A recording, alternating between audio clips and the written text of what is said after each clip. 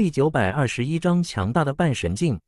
哼，蟒龙族！听到蟒龙族少女的话，那巨兽形态的火焰之上，那人再次横声道：“擅闯我炎族部落，不管你真是蟒龙族，还真是邪恶的山巫族奸细，待本统领拿下你们，再用极焰之火拷问，谅你们什么实话都说。”到的现在，看来炎族部落这人气势汹汹冲过来，看来是非要一战了。如今被这些炎族部落的人包围，每个方向都有一名九星地级的强者坐镇，前方更有那炎族半神境的强者，自己要想冲杀出去，基本是不可能。但是要让自己束手就擒，任凭冲过来这人肆意揉捏的话，这根本不是石峰的作风。右手之上，金色剑芒闪耀。原本化为剑纹的九星地级战兵天妖剑，再一次出现在了石峰的手中。面对着那巨兽形态的火焰越逼越近，炙热的火焰高温迎向扑来。石峰一声低喝：“九幽灭天剑！”随即间，石峰一剑横斩而出，用的还是他这最强的杀招之一——九幽剑法第九式九幽灭天剑。一剑斩出，前方大片空间震荡，如海浪般翻滚，呼啸。仿如幻化为了无形的大海一般，拥有着强大的吞噬毁灭之力。这股力量，看我如何破之！就在这时，那傲立于巨兽形态烈焰上的那名炎族强者，身形还在随着火焰巨兽急速奔腾，朝着石峰急速接近。当他感应到石峰展出的那一剑力量之时，不但没有半点退却之心，熊熊燃烧着烈焰的身形。反而直接从那巨兽形态的火焰上俯冲而下，以更快的速度朝着那奔涌而来的九幽灭天剑力量接近。炎杀急速俯冲而下，熊熊燃烧的烈焰火人爆发出了一阵犹如愤怒般的大喝。同样，熊熊烈焰跳动的双手紧紧地扣在一起高举，然后朝着斜下方猛然轰拍而下。顿时间，熊熊燃烧，仿佛可焚尽世间一切的磅礴烈焰。被炎族这名强者轰击了出来，汹涌滚滚的火海朝着石峰发动的力量奔涌，熊熊燃烧，奔涌的狂暴烈焰，如果仔细望去，会发现它好像形成一个巨大的沙子，不仅散发着炙热，能燃烧一切的高温，还散发着浓烈的杀气。此招正是炎族部落的绝技之一——炎杀。紧跟着，两股无比强大、都拥有极强毁灭之力的力量。猛然相撞在了一起，令得这片天地顿时变得更加的狂暴。石峰一招九幽灭天剑发动后，便见得对方发动了一招烈焰汹涌而下的攻击。感受到对方发动的力量后，石峰嘴角勾起，露出了冷然的笑意，呢喃道：“哼，本座以九星地级战兵发动的这招最强剑技，岂是你等所能抵挡？毁灭吧！”而就在石峰话刚说完。那边发动熊熊狂暴烈焰的炎族强者，突然发出了难以置信的大声惊呼：“这怎么可能会这样？”在九幽灭天剑无形的力量之下，炎族强者发动的狂暴烈焰瞬间变得絮乱不稳起来，紧跟着便被无形之力给冲得溃散而开，失去它原有的火焰之力。在这我炎族部落的领地，炎热的气息可令我的力量更加强大。我炎族的杀招绝技炎杀。强大无比，同样为九星地级之境的强者，我的全力一击竟然会不及他。全身烈焰熊熊燃烧的炎族强者，杀招被那无形之力给吞噬，心中难以接受，身上燃烧的烈焰，因为他此刻的心境都变得絮乱，仿如在遭受着狂风吹打，要即将被吹灭一般。而这时，石峰发动的无形力量，还在朝着前方狂猛翻滚奔涌。眼看便要席卷在那炎族强者的身上，哼，原来是个空有境界力量，却是心智不稳之人。如此打击，便失去了斗志，任我宰割。这样的武者与我一战，胜败已然注定。石峰望着前方那失去斗志、失去战意的炎族强者，满是不屑地说道：“如此武者，石峰自然对他不屑。他发动的攻击，不过被石峰的攻击给击溃了而已。”他便丧失了战意，任由九幽灭天剑后续的力量冲击到他身上。而就在那股无形之力即将冲击在炎族强者身上之时，愚蠢！那道威武无比、仿佛来自上苍的喝声再次响彻而起。而听到这道声音的石峰，面色旋即一变，旋即露出了凝重之色。而也仅是那一道声音，那九幽灭天剑，那即将冲击到那炎族强者身上的无形力量，竟然突然消失不见，消失地无影无踪，就好像从未出现过这片天地间一般。仅一道声音，仅一个意念，竟然被迫去自己全力发动绝强的一击，这就是自己曾经一直追求的力量吗？这就是在天恒大陆传说已久的神级之力，在这个莽荒大陆。仅被称为半神的力量，见识到半神的玄奥及强大后，石峰已知，如今入这炎族部落的领地，想要靠自己冲杀出去，那是不可能的了。以自己的力量，就是逃脱都不能。那人想要自己的性命，只需一个意念而已。九星五帝与半神境界虽然只有一步之遥，但却是完全不同的两个境界。未入半神境界，永远不会明白半神的强大。跟着，一道身形突然显现在了石峰的身前，无声无息。来者是一名面容肃穆、透着威严、有着皇者气势的中年男子。此人静静地悬浮在石峰的身前，什么都没有做，便令石峰感觉到了一股强大的威压。石峰早已知道，他便是炎族的族长，那半神境界的强者。仅仅一个瞬息之间，他便从百米之远，无声无息地出现在了自己的前方。父父亲，而就在这时，刚才与石峰战斗的炎族强者见到这中年男子出现在他的前方，沉声一喝，单膝下跪。而下跪的同时，他身上燃烧的熊熊烈焰旋即全数倒卷回他的皮肉之中，消散不见，显露出一道年轻强壮的身影及年轻刚毅的脸。却没想到，此人竟是炎族族长之子。炎族族长面容淡然。缓缓开口：“炎伦，你的境界乃是用资源堆积而来，看来终究是缺少战斗经验。”炎族族长虽然是在对他身后的儿子说话，不过他的目光依旧是淡然望着前方的石峰。第九百二十二章不愿认命。炙热的炎族部落上空，半跪半跪半空的炎族族长之子炎伦，听到父亲的话后，连忙说道：“父亲，伦人今后定然会在家努力。”今后定然不会再让您失望。炎族族长有三子，个个都想日后继承炎族族长之位。炎伦不想就此在父亲心中失望。原本有外人到来，炎伦出头是想在父亲面前表现自己，却没有想到，不但没有得到表现，反而在这可让自己力量更加强大的炎族领地败在他的之手。不但让炎伦在炎族众人眼中颜面尽失。还被父亲说成缺少战斗经验，这人都是这人，竟敢拜我，让我丢脸！我言伦发誓，总有一日一定要将他给狠狠撕碎，以泄我今日心头之恨。言伦抬头望着前方的石峰，在心中狠狠说道。这时，面色淡然、气势如皇者一般的炎族族长，目光依旧一直停在石峰的身上，跟着再次缓缓开口，淡然道。你很不错，年纪轻轻便有如此的力量跟胆魄，不得不承认，你的天赋比我这个儿子要强上太多。父亲当听到父亲说这人比自己要强上太多之时，言伦满是不服地出声道：“炎族族长没有理会言伦，继续望着石峰，继续说道：不过，你如果真是山巫的奸细，那么日后将会是我炎族部落的威胁。”所以，不管你是与不是，今日你都必须死。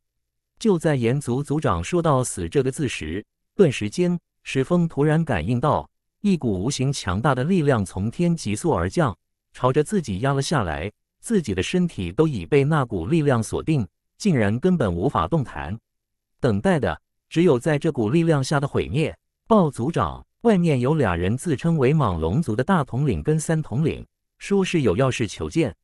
就在这时，石峰身后的不远处，突然有一个炎族战士大声喝道：“莽龙族！”炎族族长面露疑惑之色，一声低喃。而就在这时，离石峰后方不远的莽龙族少女连忙开口喊道：“是大统领跟三统领。”炎族族长，我们真的不是邪恶的山巫族人。如今大统领跟三统领来了，他可以证明我们。你们真是莽龙族。听到那少女的话后，炎族族长的目光再次望向石峰，淡然的面目上，双眉一拧。他们炎族与莽龙族打过不少次交道，这个少年，不管他的身着，还是他的修炼，还是他所施展的战绩，没有一点属于蟒龙族。不过，炎族族长还是心念一动，那向着石峰压下的力量旋即一收，顿时间，石峰只觉刚才压下的力量突然消失。整个人都是跟着一轻，半神境的力量竟然让自己一丝反抗的力量都生不起。这这种感觉，这种生死完全掌控在别人手中的这种感觉，令得石峰感觉到非常的难受、压抑。我我一定要变强，我要再突破。只有本座掌控别人的生死，不能让自己的生死让他人决定。炎族炎族族长石峰左拳紧握。右拳紧紧地捏着手中的天妖剑，在轻颤，冷冷地望向身前的这炎族族长。这时，炎族族长开口，对着那来禀报的炎族战士道：“让蟒龙族的俩人过来。”是。炎族战士一个应声，跟着便转身，身化烈焰，急速破空而去。蟒龙族知道这里是炎族部落的领地，所以跟石峰擅闯而入不同，他们要按照炎族的规矩进行禀报。待得到炎族部落同意后，他们才可以进入，不然擅闯炎族部落，定然是犯了炎族的规矩，就跟外人擅入他们蟒龙族部落一样。很快，炎族离开那名战士，破空飞回，而在他的身后跟着两名腰缠大蛇、身材壮硕的壮汉，正是蟒龙族的两位统领大统领蟒达跟三统领蟒刚。见过炎族族长，蟒达跟蟒刚到来之后。一见到炎族族长，双手成拳，交叉放在胸前，身体微微躬身，以莽荒大陆敬重的礼仪，向着炎族族长行礼道：“虽然他们俩人一来便见到石峰以及被石峰拐走的蟒龙族少女小米，但是首先要做的，还是要先向炎族族长行礼。好了，我们炎族与你们蟒龙族曾经结缔过兄弟之盟，对抗过邪恶的山巫族。”我们两族早就一家，不必如此多礼。炎族族长开口对莽达跟莽刚道，跟着炎族族长再望向石峰跟莽龙族的那少女，开口道：“这俩人，你俩人可否认得？”大统领、三统领、莽龙族少女这时连忙朝着莽达跟莽刚喊道：“莽达跟莽刚没有转身，莽达便对着炎族族长道：‘这女子是我们莽龙族的女子。’”今夜这来历不明的男子擅闯我蟒龙族部落，将我族这女子给劫走。我们之所以追入您的领地，也正是因为这件事。哦，听了莽达的话后，炎族族长轻握一声，道：“那么说，你们也不知道这人来自何处？”是的，旺达点头。我们正怀疑此人所修炼的秘法与他的战绩极为诡异，我们曾经根本不曾见过，很有可能。来自那邪恶诡异的山巫族，我也正怀疑此人来自于那山巫族。炎族族长微微点头，跟着说道：“不过也不管他是否来自山巫族，为了我们部落日后的安宁，现在便将他除去吧。”炎族族长圣明。莽达跟莽刚听到炎族族长的话后，同时点头应声道。而就在炎族族长最后一句话响起之际，石峰顿时感应到。刚刚消失的那股强大的无形之力，再次在他的上方悄然出现，将自己的身体给锁定。石峰旋即再次感应到了那强大的威压，这一刻，就连呼吸，就连微微动弹，都变得异常的艰难。然后，那股无形的力量朝着自己猛然压下。啊！顿时间，一道仰天痛嚎从石峰的嘴中喝喊而出。石峰因那剧烈的疼痛，面目变得狰狞无比。这一刻，感觉自己的整个身躯都即将被那股无形的力量给彻底地捏碎。第九百二十三章道，肉身仿如即将被那股无形的力量给压碎，在痛苦哀嚎中的石峰脑海中浮现了一句：问自己，我就要死了吗？不，我乃九幽大帝幽冥，我已经死过一次，我怎能再死？池峰突然大嚎出声道，因痛苦而变得凶恶狰狞的面目。一下子变得异常的坚定、坚毅。池峰体内的九幽冥力不断的运转，来抵挡那股压下的无形之力。垂死挣扎吗？够顽强的。我还是第一次见到半神之下的人，可以在我的力量下能够挣扎这么久的。望着在挣扎，费尽一切之力不让自己毁灭的石峰，炎族族长淡然的面容上露出了玩味的笑意。看着石峰，他就如同在看待好戏一般。跟着炎族族长转过头，看向此刻正傲立于他身后的儿子炎伦，道：“如果在未父的这股力量下，你觉得你能存活多久？”我，我在父亲的力量下将顷刻间灰飞烟灭。”炎伦如实回答道。炎族族长缓缓的点了点头，然后道：“他能活下来，靠的不是他的力量，而是他那不败不屈的意志。此人比你还要年少几岁，但是他的心智却是你根本无法相比。”啊！这时，石峰的大嚎声再度响彻而起。嗯，还未毁灭。就在这时，炎族族长转向后方的脸上，眉头一皱，露出了惊疑之色，跟着。他的视线从儿子严伦的身上移开，转回过头望向前方的石峰。啊！要想灭我，不，不可能！石峰依旧在大声嚎叫着。而不知什么时候，石峰的身上突然冒出了一个金色光圈，将石峰的整个身躯都笼罩于其中。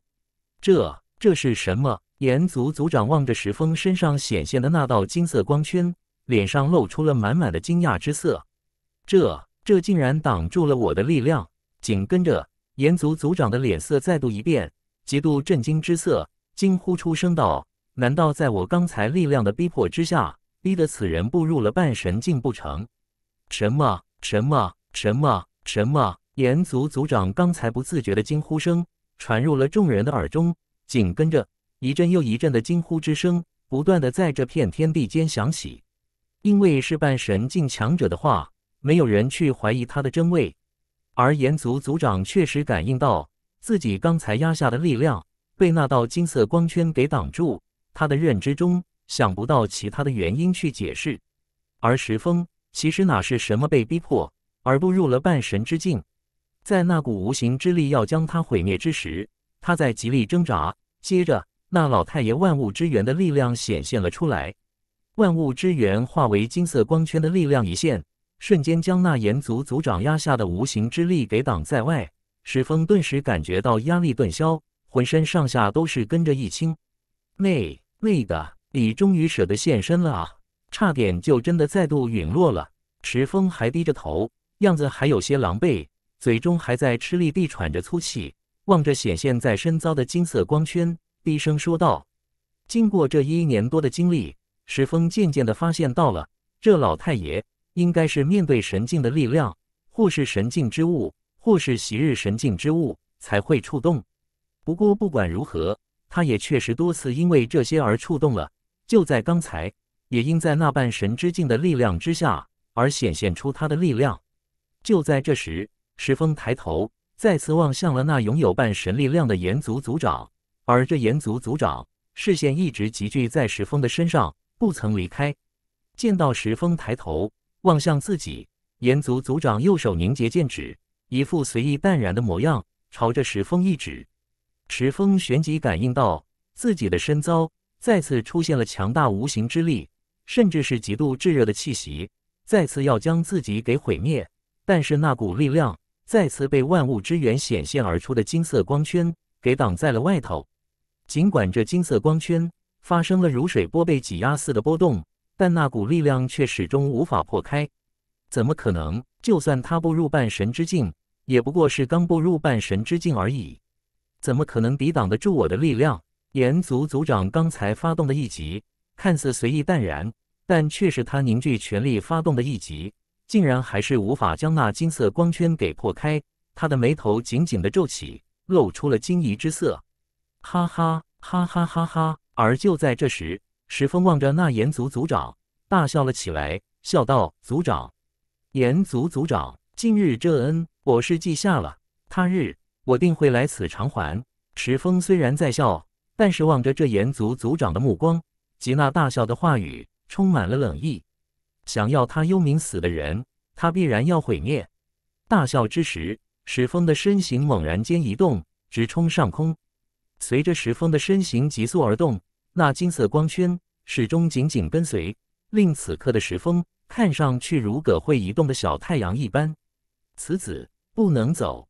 就在这时，望着准备离开的石峰，炎族族长发出了一声低沉的冷喝，身形一个闪动，旋即消失不见。而待再次现身之上，已经无声无息地出现在了石峰的上空，挡住了石峰上冲的身形。右手成掌，朝着飞冲而上的石峰压了下去，嘴中轻喃道：“年纪轻轻，便有如此毅力跟心智，在我的逼迫之下，竟然还拥有半神之力。今夜你必须死，否则我炎族将后患无穷。”见得如此一个少年，强大如炎族族长这样的强者，心中都产生了忌惮。现在他已经不管这人是不是那山巫族了，如今仇恨已经结下。必须将他毁灭，彻底除掉祸害。在炎族族长的那一掌之下，顿时间，下方的天空便为了一片熊熊燃烧的火海。石峰上冲的身形也是立即陷入了火海之中。见得上方的去路被挡，石峰的身形猛然间一顿，望着那炙热狂烈的火海，在焚烧自己身遭的金色光圈，对着金色光圈呢喃道：“你可得要争气挡下来啊！”说话之时，石峰的身形已在急速而动。既然上空被挡，那就向前飞冲。第九百二十四章强强碰撞，我石峰不败。石峰身处金色光圈之中，身陷烈焰火海，上冲的路既然被那炎族族长所挡，那么石峰便再次施展急速，朝着前方飞冲而去。但就在石峰身形再而移动之时，身前炙热狂暴的烈焰之中。突然有一道身影无声无息地再次显现，出现者又是那炎族的族长。炎族族长右手探出，对着身形还在朝着自己急冲的石峰，再次淡然开口道：“我说过，你必须得死。”炎族族长淡然的声音响起之际，顿时间，一片无形强大的力量开始席卷于这片天地。这片炙热的火海，转瞬之间化为了一个火焰大漩涡，而石峰。便是处于这个火焰大漩涡的中心，那个很拽吗？是生还是死，看你的了。池峰再次对着身遭的那个金色光圈低喝道：“虽身处那火焰漩涡的中心，虽早就感应到有强大炙热、狂猛无比的能量凝聚自己四周，要将自己给毁灭，不过那些力量依旧被身外的金色光圈给挡了下来。面对着那不依不饶的炎族族长，石峰牙齿紧咬。面露凶恶狰狞之状。既然这聂旭铁了心要挡自己的路，要将自己赶尽杀绝，那么便借助万物之源的力量跟他一拼了。给本少去死吧！石峰的身形还在朝着前方急速飞冲，临近那炎族族长之时，爆发出了一阵怒声大吼。紧跟着，那飞冲的身形朝着那炎族族长猛然撞击而去。不让本少逃命，本少就跟你拼命！哼！这时，面对着竟然胆敢向着自己继续冲撞而来的石峰，炎族族长高傲的面容上露出了不屑的冷哼。接着，这片天空的那个巨大的火焰漩涡全数朝着炎族族长的手掌心凝聚，瞬间便在他的手掌上压缩成不过一个拳头大小的烈焰漩涡。但是，压缩后的力量却是散发着更加狂热、令人窒息的力量。随后，炎族族长的一掌。朝着冲撞而来的石峰猛然轰了出去，轰在了那护着石峰的金色光圈之上。轰！两股半神之力的力量相撞，一阵剧烈无比的爆鸣之声在这片天地间爆响而起，空间都因强大的力量而发生了剧烈的动荡。咔嚓一声，如蛋壳裂开的脆响，一道长约十米的裂缝瞬间在这片火光通天的夜空中浮现。但是此刻。已经没有人去注意那道出现的裂缝，一个个瞪大着双眼，露出了不可思议的面容，望向了上空。一个个炎族战士，以及莽龙族的莽达、莽刚，还有莽龙族那少女，他们同时看到那两道身影，竟然在对方的力量之下，各自朝着后方急速倒飞了而出。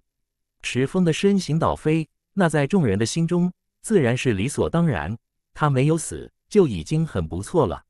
但是在他们心中几乎无敌，犹如神灵般强大的族长大人，竟然在对方的力量下而倒飞，这这实在令炎族之人心中难以接受起来。对方仅仅是那一个看上去只有十六七岁的少年而已啊！不，不可能，族长大人，我一定是在做梦，这种事绝对不可能发生。我们强大的族长大人啊，这这怎么会这样啊？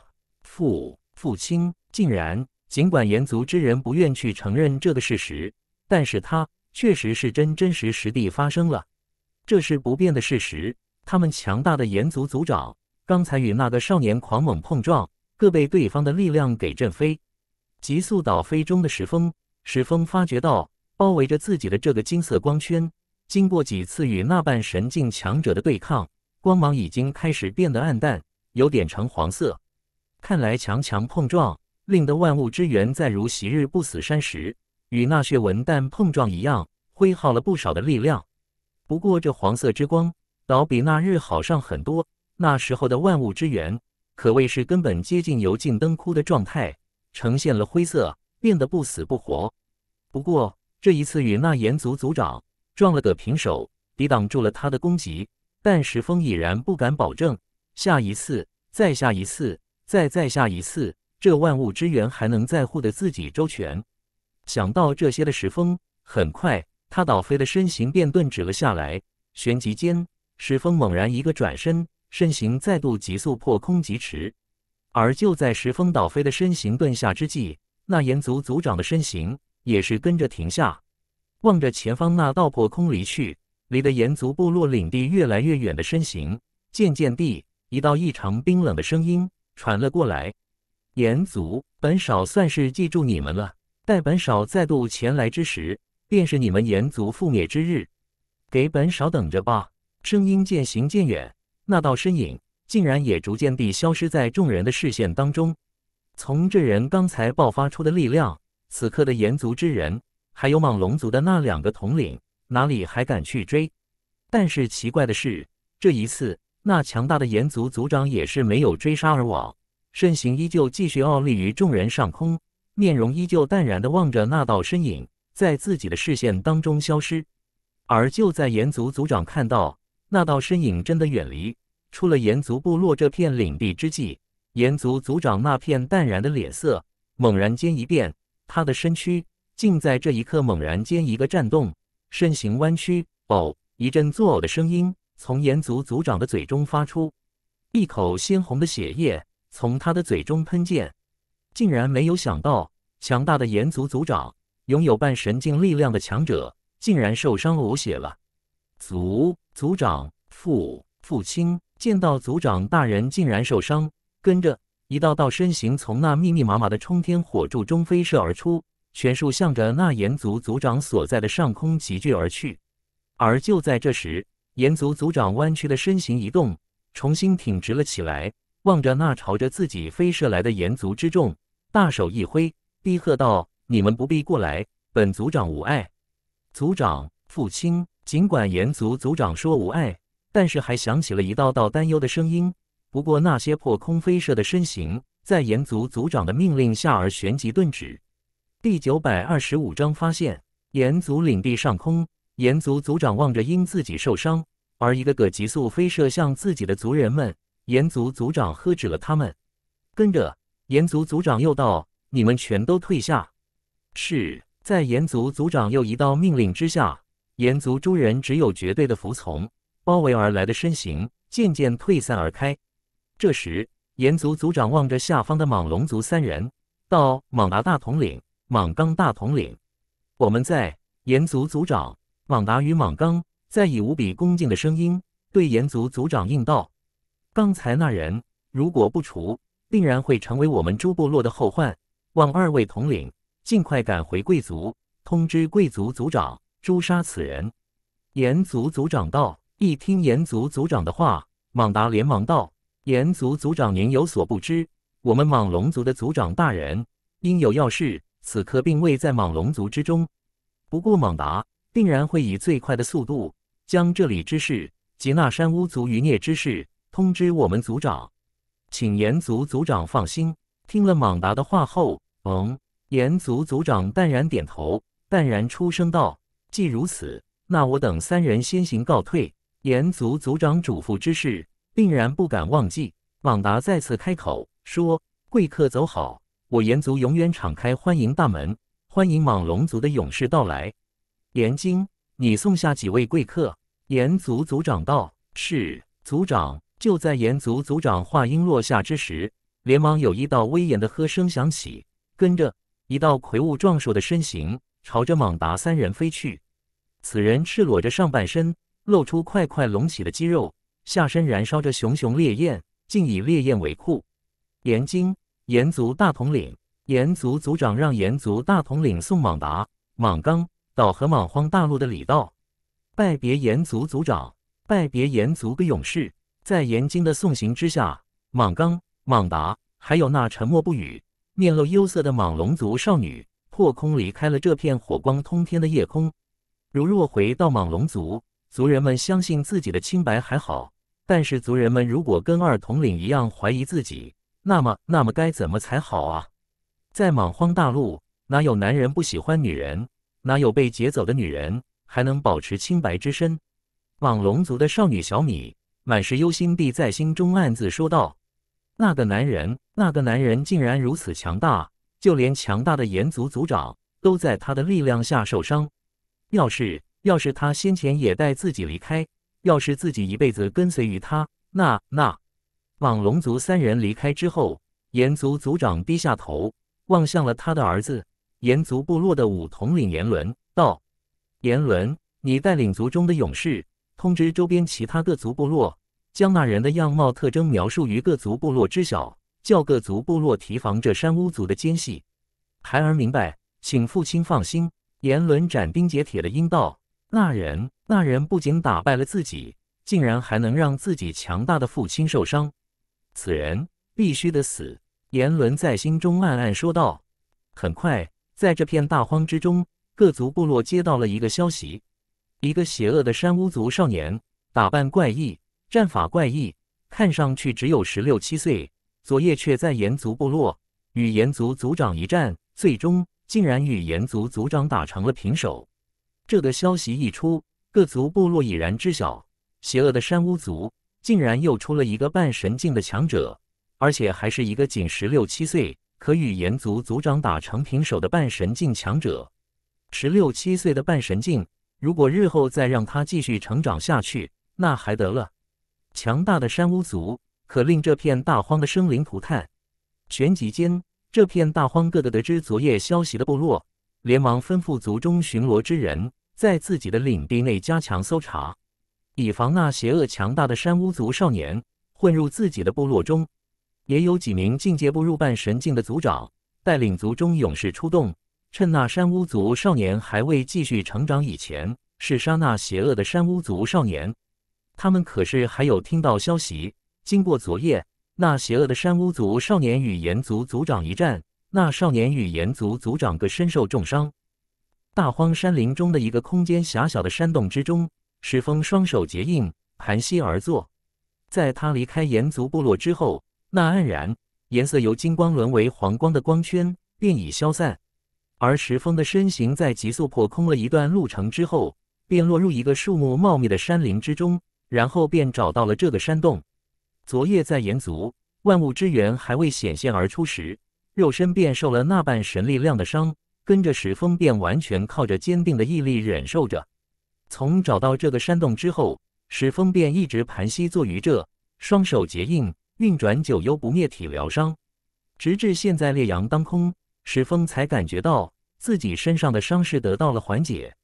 这个世界跟天恒大陆一样，同样有着白天跟黑夜。白天同样有着那散发着光和热的烈阳。又是两个时辰过去，双手结印，双膝坐在那一动不动的石峰，才缓缓地睁开了双眼。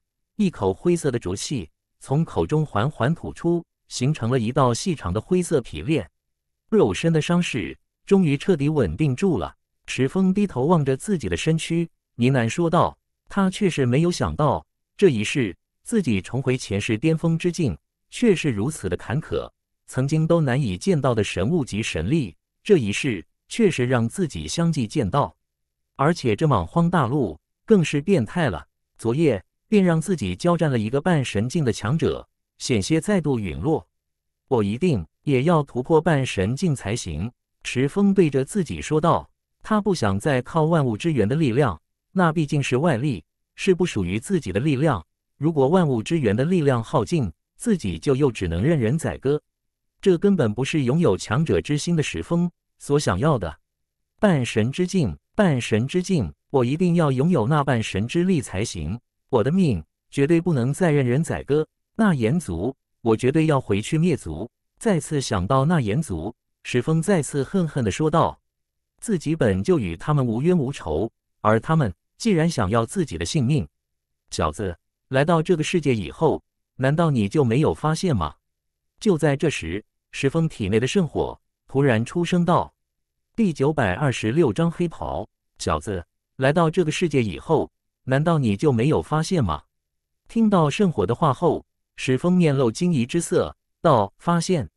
什么发现？”你发现了什么？圣火再次出声说道：“在现今的天恒大陆，你我不入神境已几乎不可能。而这个世界确实不同，一个什么种族部落里，竟有四五名九星地极境的强者，其他境界的五帝强者甚至更多。”听到圣火这话，石峰便心中明了，这圣火表达的是什么意思？道：“你是想要本少在这个世界大开杀戒？”没错，圣火道。要是在天恒大陆，恐怕没有那么多的血液，还有那死亡之力供你我吞噬。但是在这个世界，有那么多强大的生灵，你我可痛快吞噬。到时候，待我们能量充足，本座便助你步入神级之境。你助我？你为何会突然变得如此好心，无事献殷勤？曾经的圣火，石峰多次让他透露成神之秘，他都只字不提，而现在。竟突然说住自己成神，让石峰对他不得不心生提防。如今你我已为一体，这是无法改变的事实。你荣我荣，你损我损，你强大便是我强大。圣火道，而也正如他所说，他跟石峰以为一体，又相处了即将两年的时光。对于石峰此刻的心念，他立即便捕捉到，再对石峰说道：“对于我，不是都尽在你的掌控之中。”对我，你还有什么好提防的？哼，不提防你，我就是嫌自己的命长。石峰对圣火冷哼着道。不过石峰心中也认同了这圣火先前所说的话：这个世界确实拥有天恒大陆无法与之相比的生灵，在天恒大陆自己突破几乎无望，而在这个世界那就大不同。力量，只要自己有了强大无比的力量，那自己的生死。才真正地掌控在自己的手中，自己想要做的事才能无人所挡。自己若是有强大的力量，那便直接进入他莽龙族，直接拿取那本记载着天恒大陆的古卷，寻回天恒大陆之路。昨夜险些身亡于炎族部落，如果有强大的力量，自己现在便也可以直接进入那炎族部落，将此仇痛快偿还他们。说起来，在天恒大陆是。在这莽荒大陆也是，都是由力量决定一切。呵呵，没有想到昨夜搅得炎族不安住的，竟是你这么一个小娃。就在这时，突然有一道沙哑、略显无力，仿如年迈老人的声音，在石峰所在的山洞中响起。声音就好像响在石峰的耳畔。听到这道声音的石峰，猛然间一个心惊，以他敏锐的灵魂之力，竟然仍未感应到。那说话之人的气息，身形一动，石峰盘膝而坐的身形旋即站起，满是警惕地凝视着四周，喝道：“是谁装神弄鬼？给我出来！”发出这道喝声的同时，石峰的右手闪耀起金色剑芒，天妖剑已经出现在了他的手中。此人竟连自己都无法感知到他的存在，定然不会简单。呵呵呵呵呵呵。而就在这些，那苍老声音再现。这一次发出了一阵阵阴阳怪气的笑声，而石峰仔细聆听着这笑声，却仿如这声音是从自己的四面八方传来。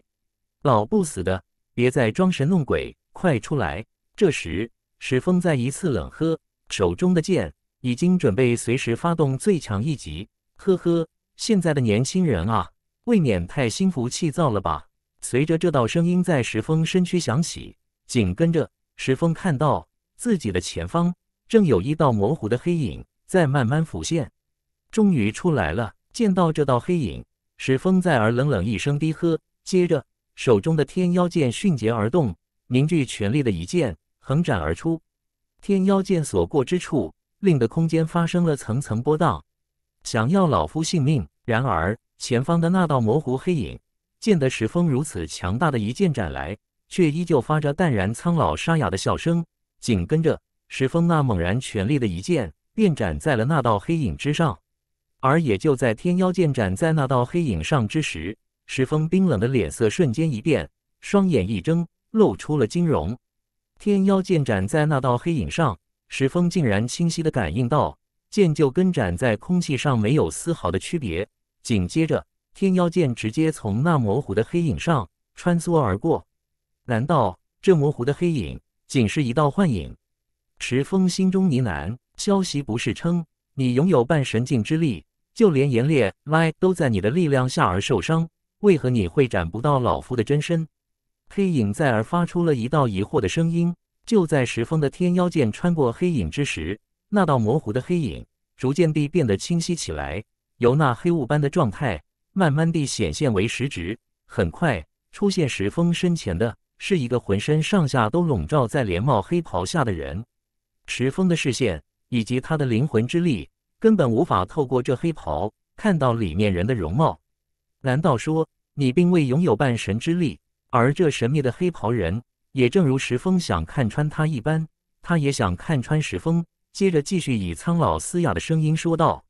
你若没有半神之力，又怎能从炎族领地、从炎烈的手中逃脱呢？炎族为何会如此劳师动众地通知各族部落？这些声音皆是充满了疑惑。你到底是什么人？石峰对着身前的黑袍人再次冷喝问道。既然自己的全力一剑都无法斩中这黑袍老头，石峰便没有再动手。第一剑都斩不中，那么第二剑、第三剑也会是同样的结果。这人的实力明显在自己之上，又是一个半神境的强者。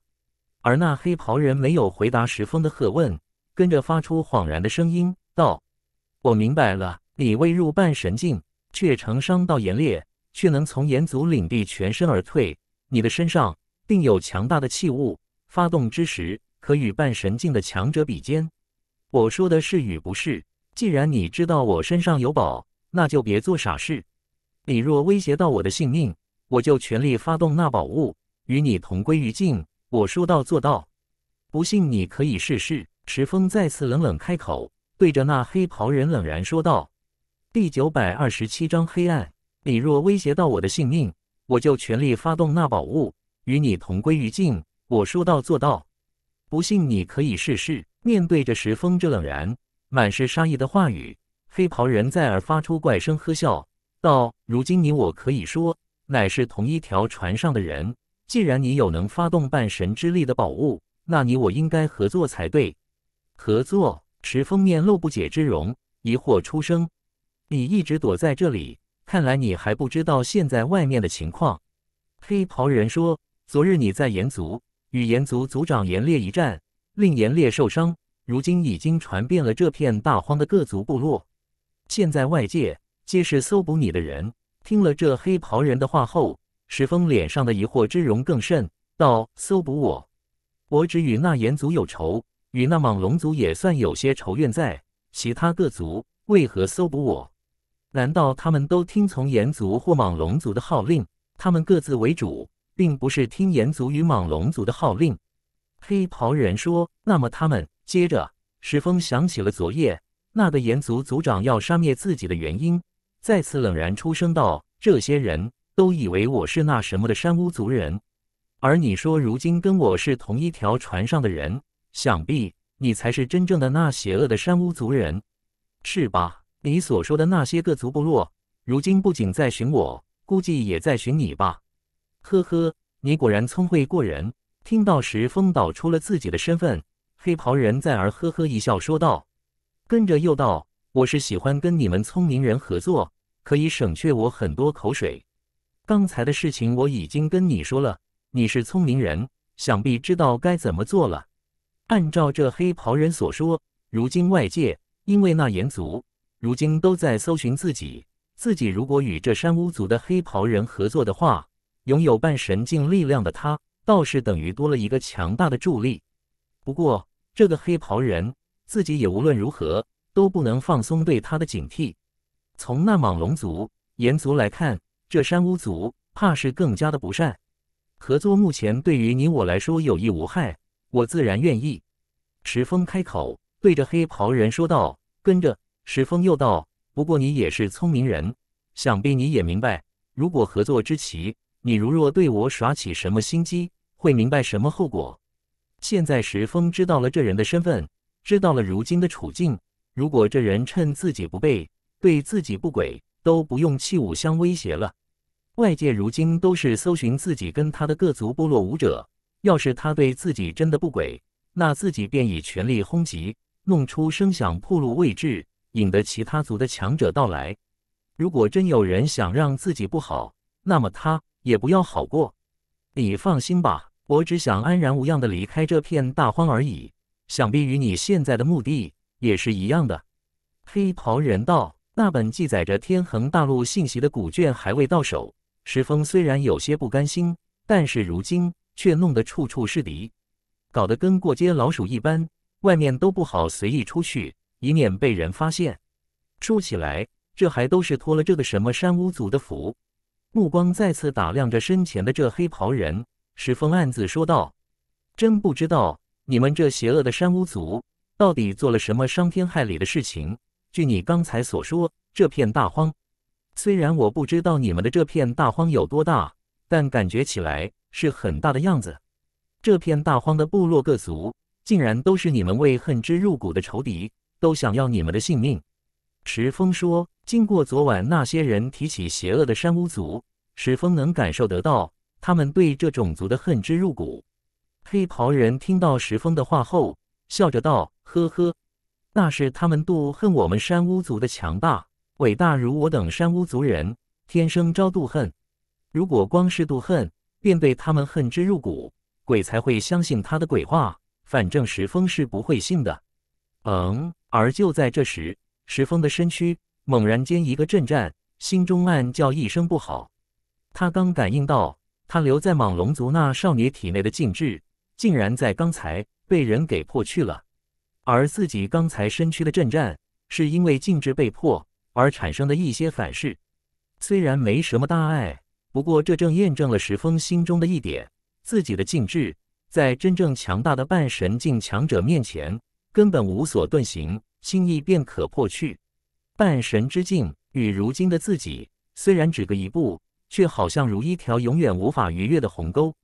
原本那少女回归莽龙族，石峰想过再让那莽龙族的二统领莽僚也回莽龙族，与那莽龙族少女一同助自己拿到那本关于天恒大陆的古卷。但是以现在来看，自己施加在他们身上的禁制，一件半神境强者。便会被他们给识破。这个以禁制要挟他们回去盗取那古卷的事，根本无法实行。看来一切还都需要力量，需要强大的力量去完成啊！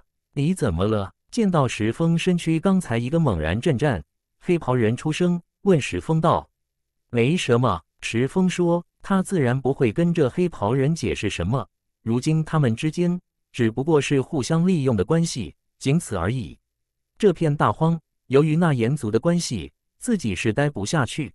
就算自己不是那什么邪恶的山巫族，但是这些人岂会听自己解释？就像昨夜那炎族强者，仅是怀疑，便是要将自己毁灭了再说。战先离开这片大荒，再想办法提升自己的实力。有了强大的力量后，再回来问那莽龙族所讨自己想要的东西。池峰在心中计划道。石峰再而开口问这黑袍人道：“我们什么时候开始行动，逃离这片大荒？这片大荒，石峰确实也不知道有多大，也不知道往哪个方向跑，才算脱离了这片大荒，脱离那些想杀自己的各族部落。与这黑袍人合作的话，石峰岛还多了一个引路者，或许还可以得到这个莽荒大陆更多的讯息。现在，我们暂先留在这里。”待夜幕降临到这片大地，我们再行动也不迟。”黑袍人说道。“而且夜幕降临，天地重回黑暗，老夫的力量可更好的助我们隐藏。第九百二十八章入地。既然那个黑袍里的老头说要天地重归黑暗，他们再出这个山洞，那么石峰便听他的。俩人在这山洞之中慢慢等候着，等候着夜幕降临。天地未黑，石峰便重新盘膝坐地，脑海之中细细地回忆着昨晚与那炎族族长炎烈战斗的情景，以及那炎烈要毁灭自己的那一道道的无形之力。石峰希望从昨夜的战斗回忆那半神境的力量。可以让自己捕捉到成神之秘，能捕捉到一丝都好。不过大半天的时间过去，石峰依旧未能从回忆之中窥探到成神之秘。这时，反倒那沙哑略显苍老的声音再度在这个狭窄的小山洞中响起：“你的天赋确实很不错，年纪轻轻便拥有九星地级之力，步入半神之境，那是迟早的事。我们山巫族一直很欢迎强者。”你入我们山巫族如何？听到那黑袍老头的话后，石峰缓缓地打开双眼，望向那身着黑袍之人，呢喃道：“入你们山巫族？”跟着，石峰缓缓摇头说：“算了吧，本少不想入什么族群势力，本少不喜欢听任于人，受他人掌控。”说完之后，石峰继续闭上了双目，继续回想着昨夜战斗的画面，不再理会这黑袍老头。成神之秘，石峰前世就在苦苦追寻，而今世自己都以两世为人，来到这个半神境强者并不稀奇的莽荒大陆上，而自己竟然依旧未能窥得一丝一毫的成神之秘，难道自己的武道天赋真的仅此而已吗？不，这怎么可能？自己可是九幽大帝，天恒大陆的第一强者。九幽大帝，随着时间渐渐地过去，天入黄昏，再入黑暗。夜幕降临到了这片大地，黑袍人再度化为一道模糊的黑影，站于山洞之口，对于身后的石峰出声道：“好了，小子，我们现在可以出发了。”石峰再度从黑袍人的声音中被惊扰，双目打开之时，石峰的脸上仍旧有些失望之色。经过这一天的回忆感悟，石峰仍旧未窥探到那离自己又远又近的半神之境，或许。待我今世丹田内的能量再至圆满，或许心境会有所不同。一切还是等与圣火融合的丹田充盈再说吧。不然的话，就算窥探到了成神之秘，也是枉然。石峰对自己低喃道，跟着盘膝而坐的身躯，缓缓地站起了身，朝着站在山洞的那黑袍人走过去。感应到自己接近，黑袍人再次出声，对石峰道：“走夜空的话，虽然快。”不过容易被人给发现，所以不可取。若要成功离开这片大荒，不被那些该死的各部落族群发现的话，空中之路我们是无法走的。石峰走到那道模糊黑影的身旁，听到那黑袍老头的话后，石峰双目中金光一闪，道：“空中我们既然无法走的，那我们便走这地下之路。走地下之路。”那道模糊的黑影听了石峰的话后，低头望向了脚下的大地。说道：“走地下之路固然是不错，难道你小子精通大地之力，可遁地？既然本少提出走这地下之路，自然便可以办到。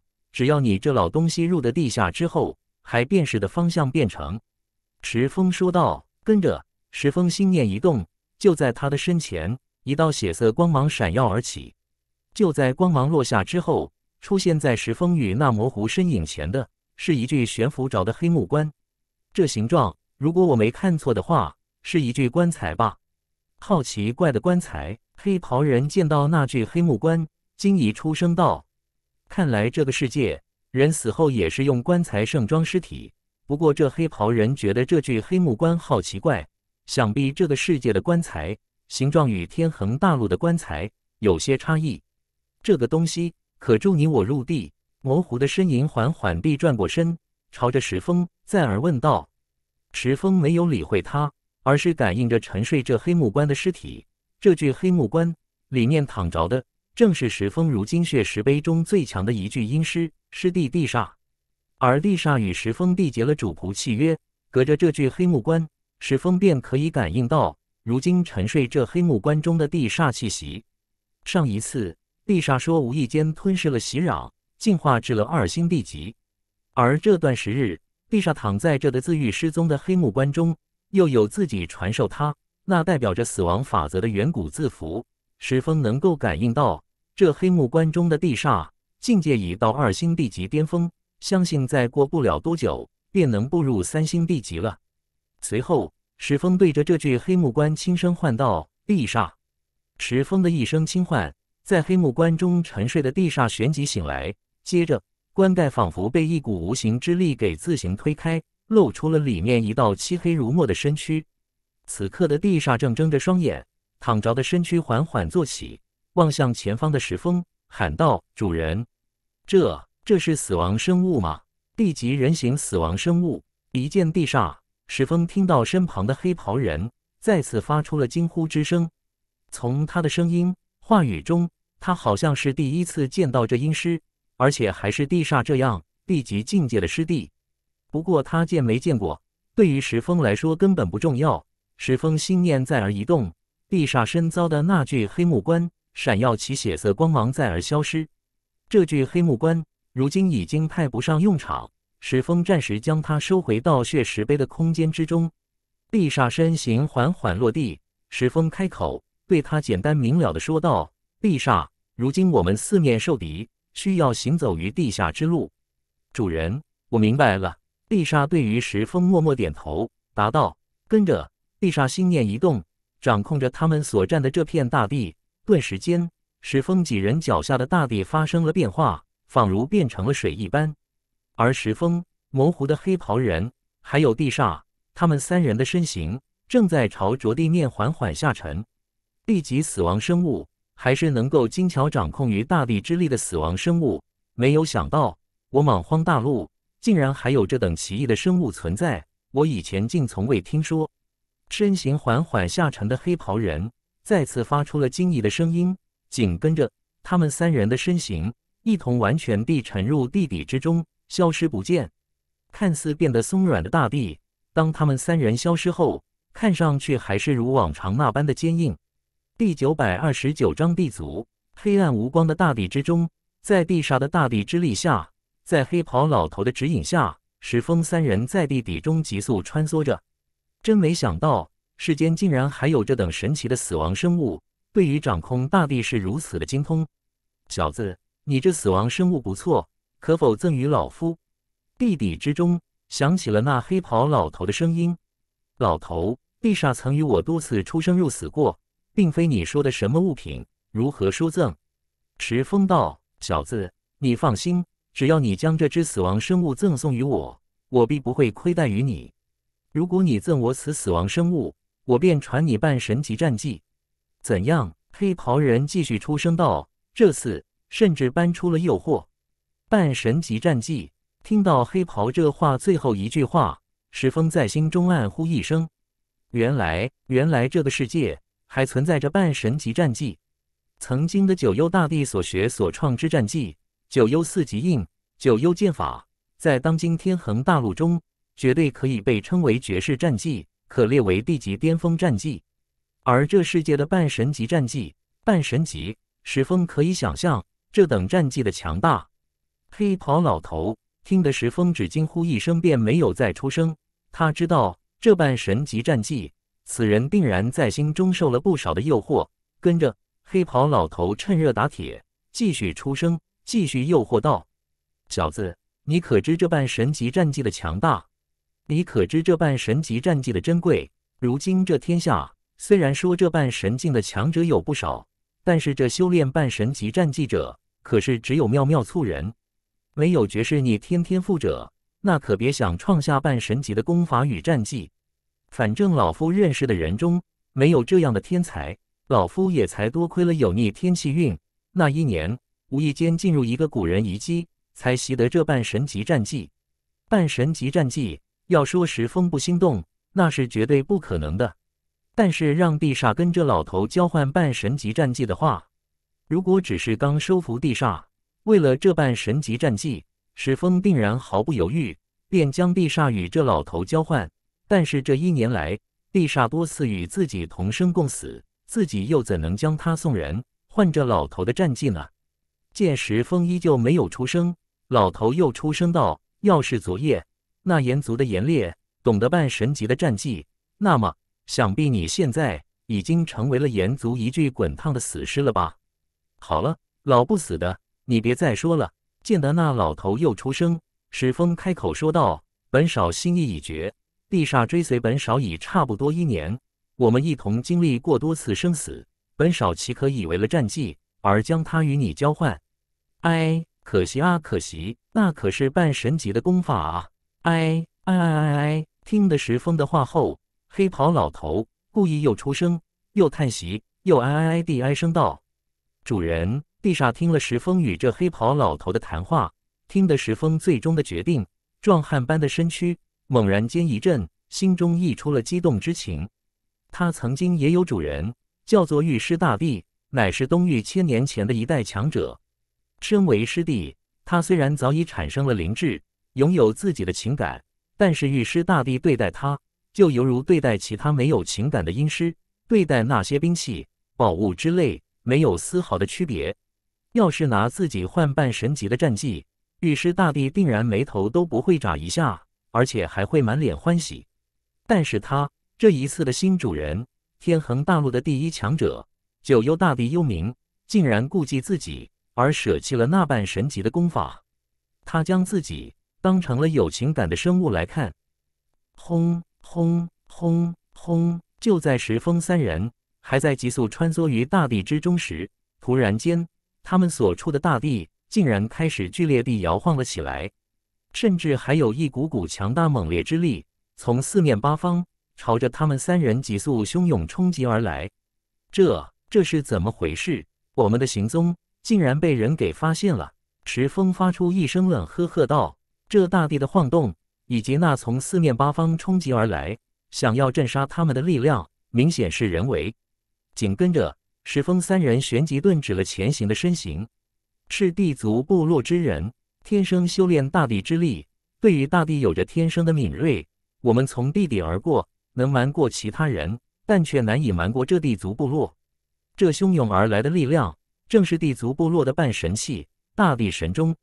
就在这时，黑袍老者惊声喝道，紧跟着，黑袍老者一声低喝：“灭！”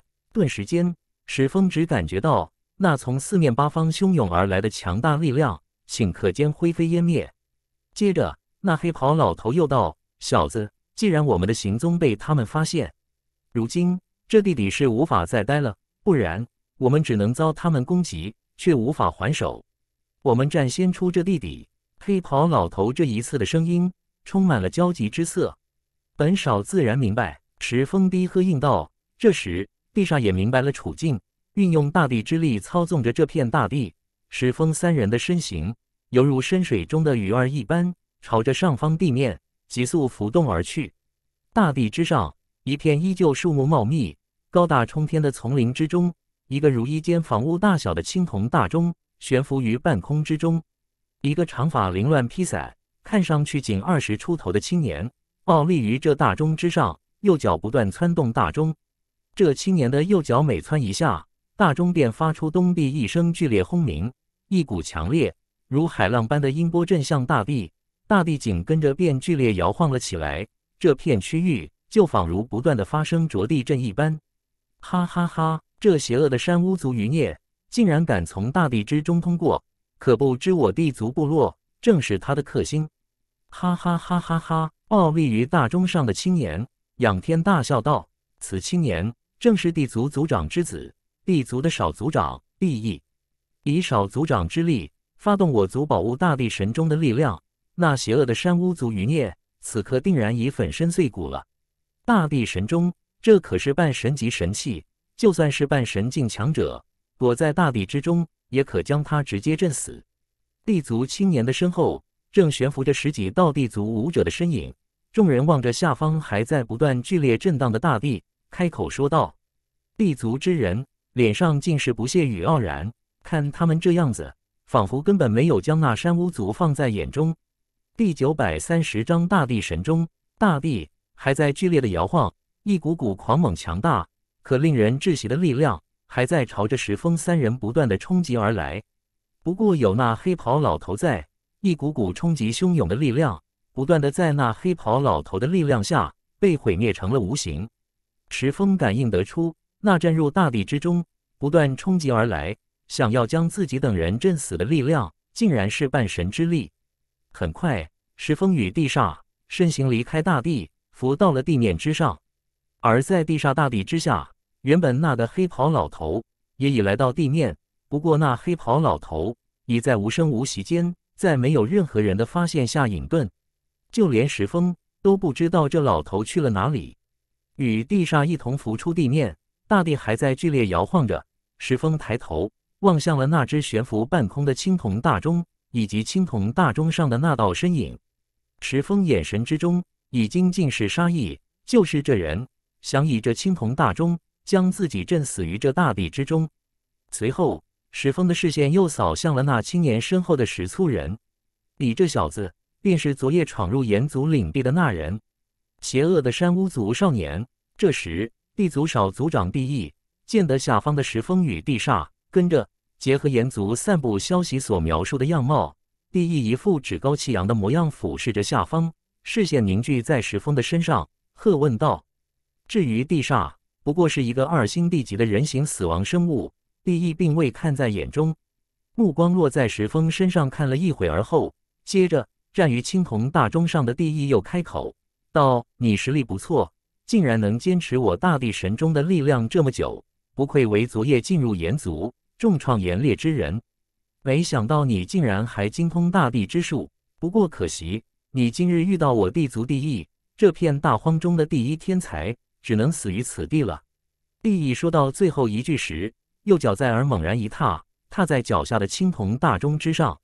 咚！在而一阵巨鸣之声在这青铜大钟上响彻而起，紧跟着大地神钟旋即朝着下方震荡出强烈如海浪般的音波，朝着石峰汹涌翻滚而下。这便是催动半神器所发动的力量。石峰冰冷的面目面对上空。见得那从半神器中大地神钟中震荡而出的力量，低喃说道：“石峰能够明显的感应到，这股力量确实不是现在的自己所能抵挡。他已经可与昨夜炎族族长炎烈所发动的力量相比。也正如石峰所料，在那股半神之力下，他的身上很快出现了一个金色光圈。半神之力下，万物之源在被引动，显现一个金色光圈护的石峰的身躯。”而石峰发现，经过昨夜到现在的修整，这原本金光暗淡、呈现黄色的金色光圈，如今已经恢复往昔般的金色。既然你也已经恢复，那么我就不客气了。石峰对这金色光圈低喃说道，随后身形猛然一动，朝着上空急速斜射而上，迎向那震荡而下的强烈翻滚的音波，坐以待毙，只抵挡他人的攻击。这绝对不是石峰的作风。竟然金色光圈出现，护着自己的身躯，那么石峰便再度使出了昨日与那炎族族长相斗时的那一招，以自身身躯带动这金色光圈，给对方一个猛然的撞击。石峰甚至还已经为这一招命名，叫做野蛮冲撞。而这一次，石峰在施野蛮冲撞，冲向了那口大地神钟所发出的音波力量，护住石峰身躯的金色光圈。很快便与那大地神钟的音波撞击在了一起，而石峰原本急速上冲的身形，旋即被如巨浪般翻滚的音波力量给阻挡住。而由于石峰的上冲，那剧烈翻滚汹涌的音波之力也受到了阻挡，无法再向下震荡。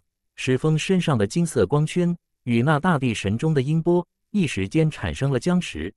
咚咚咚咚咚！而就在这时，大地神钟之上。又是不断的响起了剧烈的钟鸣之声，见得那服饰奇异的少年竟然挡住了大地神钟的力量。地义不断的脚踏大地神钟，不断的催动大地神钟的音波之力灭敌。一时间，那震荡翻滚的音波变得更加的剧烈，变得更为强大地涌向石峰，冲破这股力量。见得那音波之力顿时间变得更加强大，石峰面露狠色，依旧抬着头。目光凝视在那大地神钟上的那道身影上，跟在石峰在心中再生低喃道：“只要冲破这股力量，接近此人，本少便有信心以最强杀招灭杀这人，夺这大地神钟。”此时此刻，石峰的心中已满是杀意与杀机。这地族地义不过是拥有九星地级力量的武者，但却可以以这大地神中发动半神之力，这半神级玄气确实是吸引人。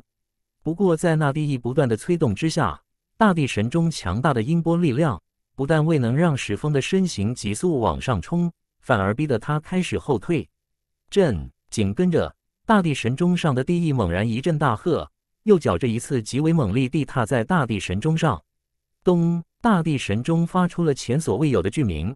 这一声巨鸣下，仿佛与下方的大地都产生了共鸣，大地再一次开始了剧烈的震颤与摇晃。紧跟着，一道巨大狰狞的地刺旋即破土而出，蕴含着无比强大之力，从下往上猛力地轰向石峰。给我死吧！邪恶的山巫族少年，傲立于大地神钟上的地翼。双目冷冷地盯着下方那破土而出的地刺及那道金色光圈中的身影，狠声说道。紧跟着，那破土而出的狰狞地刺猛然地轰击在了护着石峰的金色光圈上，与那大地神钟上震荡而出的音波力量上下夹击。石峰能够很明显的感应到，护着自己的金色光圈猛然间发生了如水波般的波动，自己的身躯也在那两股强大力量的攻击下不断晃动。值得庆幸的是，这个金色光圈就算受那大地神钟的力量上下同时轰击，也并未被破碎。不过，这金色光芒，石峰岛感应到又暗淡下去了几分，竟然还不死！可恶！第九百三十一章，该死的老不死，竟然还不死！可恶！竟然还在负隅顽抗，想在临死前多受些没必要的痛苦与挣扎，那么本少族长便成全你。大地神钟上的地义依旧冷冷俯视着下方的石峰，再而对着下方的石峰冷喝道：“咚咚咚咚咚！”紧跟着，大地神钟上再而响起了一阵一阵的钟鸣之声，一股又一股的音波力量再而不断震荡，剧烈晃动的大地之上，一根接着一根巨大的狰狞的地刺轰击在护住石峰的金色光圈上，毁灭之后再而破土而上，再而轰击，再而毁灭。再而出现，哼！此等年纪轻轻的山巫族人，就算他不入半神之境，那又能如何？遇到我大地之族的大地神钟，也唯有灭亡一途。那是自然。我们大地之族的大地神钟，岂是他这个连毛都没长齐的小子所能抗衡？他以为他今日所遇到的，还是那炎族的炎烈？哼哼，在我们大地神钟的力量继续抵挡，他只不过自讨苦吃，自作自受而已。换成我，还不如放弃抵挡，直接死个痛快。正是，正是，此子如此愚蠢，今日必该一死。地义的身后，那依旧傲立在地义身后的地族十几名武者，望着下方在负偶顽抗的石峰，纷纷开口议论道：“傲然之声，不屑的冷哼声不断。能出生于强大的地族，这是地族勇士天生的骄傲。累的，你个老东西，你还不出手？”要等到什么时候？还在硬扛着音波与地次不断的轰击的石峰，这一次蓦然大喝，喝道：“在那大地神钟的力量下，他已知道自己是无法冲破了，那就更别想斩杀大地神钟上的那个地族青年。”而石峰开始以为那个山巫族的黑袍人趁着自己吸引这些地族武者后，会趁机出手，却是没有想到那老东西竟迟迟没有出现。令得石峰都忍不住发出这怒然大喝：“呵呵，现在的年轻人还是太心急了。被你这么一喊，老夫现在不想现身都不行了。”就在这时，这片震荡的丛林中突然响起了一阵老者的呵笑声：“你妹的，受力量冲击的是我，你倒可以在那说风凉话！”听到那老东西的话，石峰在而怒声喝道。而地族之人听到那道苍老的声音后，突然间一惊，特别是那傲立于大地神中的地义，自己在这与那战斗，竟然未发现正被人给窥视。神什么人？给本少族长滚出来！地意感应四方，冷声大喝道：“那道响起的苍老声音，好像上下左右、四面八方都有存在。地意竟无法捕捉到这声音来自哪个方向。那躲藏之人躲在哪里？此东西！”竟然在本少族长面前装神弄鬼！既然不出来，那么本少族长便将你给轰出来再杀之！地意在耳冷声狠狠喝道：“咚咚咚咚咚咚咚咚咚咚！”地义的双脚在耳猛踏大地神钟，大地神钟顿时响起了一阵阵的钟鸣之声。呵呵！就在这时，一道苍老淡然、沙哑的笑声在而在这片天地间响起，一道模糊的黑影顿时在地义的头顶上方悄然浮现。少少族长，地义身后的地族武者见到浮现地义头顶上方的那道模糊黑影，立即一个个瞪大着双眼，惊声大呼道。随后，一个个身形猛然而动，朝着地义的头顶上方冲击而去，拳头紧握，力量凝聚，一同轰向那道黑影。但是，地族的十簇名武者还未临近那道黑影，顿时间，一连篇的痛苦惨呼之声。突然不断的从他们嘴中喝发而出，啊啊啊啊啊！而发出痛苦喝声的武者们，飞冲的身躯旋即变得一动不动，随后十几道身躯一同朝着下方地面掉落而去。短短一瞬之间，这十簇名地族武者竟然莫名其妙地发出惨痛的呼声，随后便身亡。呵呵呵呵，接着那道苍老沙哑的笑声再度响起。嗯。这时，大地神钟上的地义见到跟随自己而来十几名地族武者们突然身亡，发出了一阵怒哼。不过，也就在此刻，大地神钟刚才朝着四面八方震荡而出的强烈音波，有一股即将涌在上方那道模糊的黑影之上，竟敢杀我地族勇士！死！见得大地神钟那震荡出的强烈音波即将震荡在那模糊黑影之上，地义狰狞着脸，狠狠说道。这一刻，他仿佛看到了那道黑影在强烈音波下烟消云散的场景。而这一刻，下方受到强烈音波与巨大地刺轰击的石峰，能够明显的感应到，在刚才地义震动大地神钟，让大地神钟的力量朝着四面八方震荡的时候，那震向自己的力量明显弱上了几分。看来，这大地神钟的力量在这地义的催动下已被分散出。他甚至感应到。那阵向上空那道黑影的音波力量正在不断提升变强，看来这地义是已经不把自己放在心上了，而是让力量凝聚上方，先对付那黑袍老头。三心二意，看不起本少，本少便让你付出代价。石峰咧嘴冷笑，跟着身形再而猛力移动，带着护在自己身遭的金色光圈，猛然在朝上方的音波力量撞击。原本压制石峰的音波力量变弱，经石峰再次这么猛力一个冲撞，大片震荡翻滚的音波力量旋即被石峰给震散。不，不好！下方音波力量被破，傲立于大地神钟上的地义旋即感应到，连忙面露不妙之色，惊声大呼道：“不过，那在地义力量转移之下的强烈音波，已经汹涌在了那道模糊的黑影之上，正如地义刚才脑海中所想的那般。”那道黑影在强烈音波的汹涌之下，消失地无影无踪，烟消云散。但是，却又不是地义所想那般的烟消云散。地义马上又知道了，这老不死的竟然还没有死。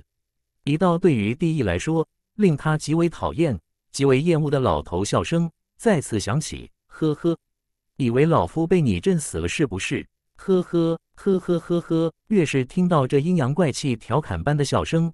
令得地义越是抓狂。第九百三十二章斩杀地义，死！该死！该死啊！老不死的，你怎么不去死？地族少族长地义脸上满是暴戾之气，抓狂地怒声大吼道。接着，他又看到下方冲上来的石峰，冲破了层层声波，那护着他肉身的金色光圈，眼看即将撞在了他脚下的大地神钟上，紧跟着咚咚咚咚咚。咚咚咚咚咚，地义双脚抓狂般地猛踏大地神钟，大地神钟在而不断的响起剧烈的钟鸣。不过急速猛然撞上来的石峰，便在这一刻带着金色光圈的身躯从下而上，猛然地撞击在了这大地神钟上。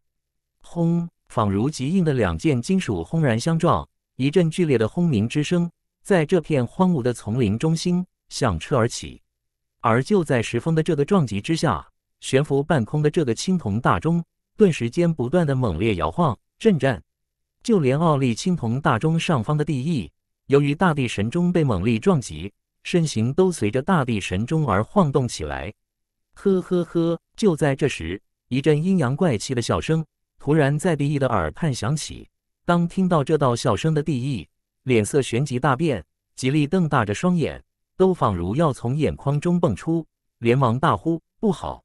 而就在地义“不好”两字的呵声响起之时，那颗年轻、凌乱长发披散的头颅瞬间冲天飞起，转瞬之间，地义变化为了一具无头之尸，妖异鲜红的血液从这无头尸身上不断喷洒飞溅，紧跟着一道模糊的黑影在那具无头尸体旁边渐渐浮现，接着出现的黑影变得越来越清晰。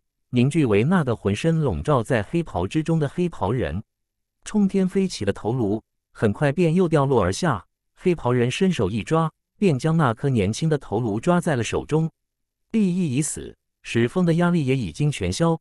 九幽冥宫运转，很快便吞噬了地义的死亡之力。跟着心念再而运转，地义的魂魄很快从黑袍人手中的那颗头颅之中被吸出。咦！就在这时。黑袍人发出了一阵惊疑之声。身为半神境强者，自然可见到魂魄。见到那地义的魂魄飞出，然后朝着石峰飞去，黑袍人并未阻止。接着，他便见到那缕魂魄临近石峰之时，石峰的眉心之前出现了一个无形漩涡。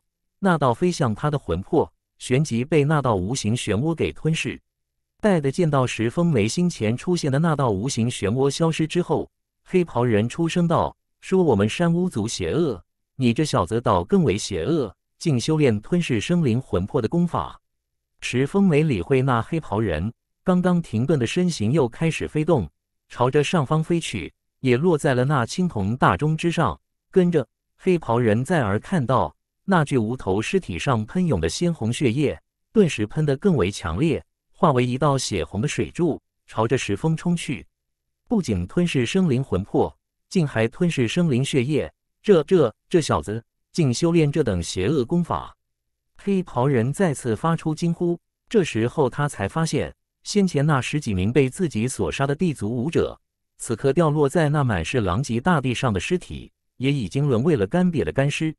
很快，暴立于大地神钟上的那具无头尸体，看上去仿佛水分浸湿，化为干瘪干瘪。犹如风化了几百年的干尸一般，砰地一声，无头干尸倒下，砸在了大地神钟上。大地神钟发出了一阵清脆的脆鸣。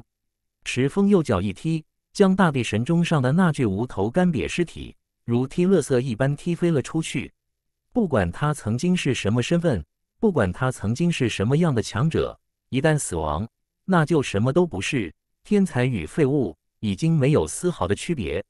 跟着。石峰低下头，目光已经集聚在脚下的这个大地神钟上。而那黑袍人，看他那穿着黑袍的动作，看来他的视线已经盯着石峰的身上。跟着，黑袍人再度出声：“小子，看来你挺中意这大地神钟啊！”哼！听到那黑袍人的话，石峰发出一声不屑的冷哼，低着的头慢慢抬起，望向那黑袍人，说道：“半神级玄器，这大地神钟。”难道你这老不死的不受此物诱惑？如果自己获得这大力神钟，又有万物之源显化金光，定然可增强自己不少战力。那个地族青年也仅只有九星地级力量，可先前将自己逼得如此境地，虽有万物之源金色光圈护身，可相当于立于不败之地。但是如果只以自己加万物之源，要破大地神钟的力量，取那地族青年的性命，将是异常的艰难。就在这时，那黑袍人再次发出了呵笑声，道：“呵呵，大地神钟，地族至宝，老夫自然也是心动。”随后，从这黑袍人可以看出，这黑袍老头目光望向了脚下的大地神钟，半神级之气。要是老夫获得这大地神钟，战力定然将在提升。听到这黑袍老头的话后，石峰这一次突然冷然出声，说道：“可本少也要这大地神钟？”半神级之境，石峰岂能就此轻易拱手让人？更何况那地族地义是他们一同联手斩杀，要是没有自己，这老不死的想要杀他，并不会这么容易。这时，黑袍人又出声道：“呵呵，小子，我们再这样争下去的话，想必很快便有其他人过来了。刚才这里的战斗动静如此的大，现在定然有不少想要我们性命的人正朝着这里赶过来。既然你怕了，那你便让本少取了这大地神钟。如果下一次还有战利品的话，便属于你，如何？池峰道：“下次，呵呵。”黑袍人再次笑着说：“谁保准下次会是什么时候？而且你以为这半神之气乃是随处可见的烂木头不成？人人手中一件。既然你我都想拥有此物，这该如何分？”池峰再次开口，试探性的问他道：“池峰此刻已比先前更加提防此人，没有这大地神钟时便提防着他，现在有了这大地神钟，就更要提防。为了绝世宝物而杀人。”在这弱肉强食的世界里，很多人已经将这当成了理所当然的事。更何况，这人可是出自被人称为邪恶的山巫族。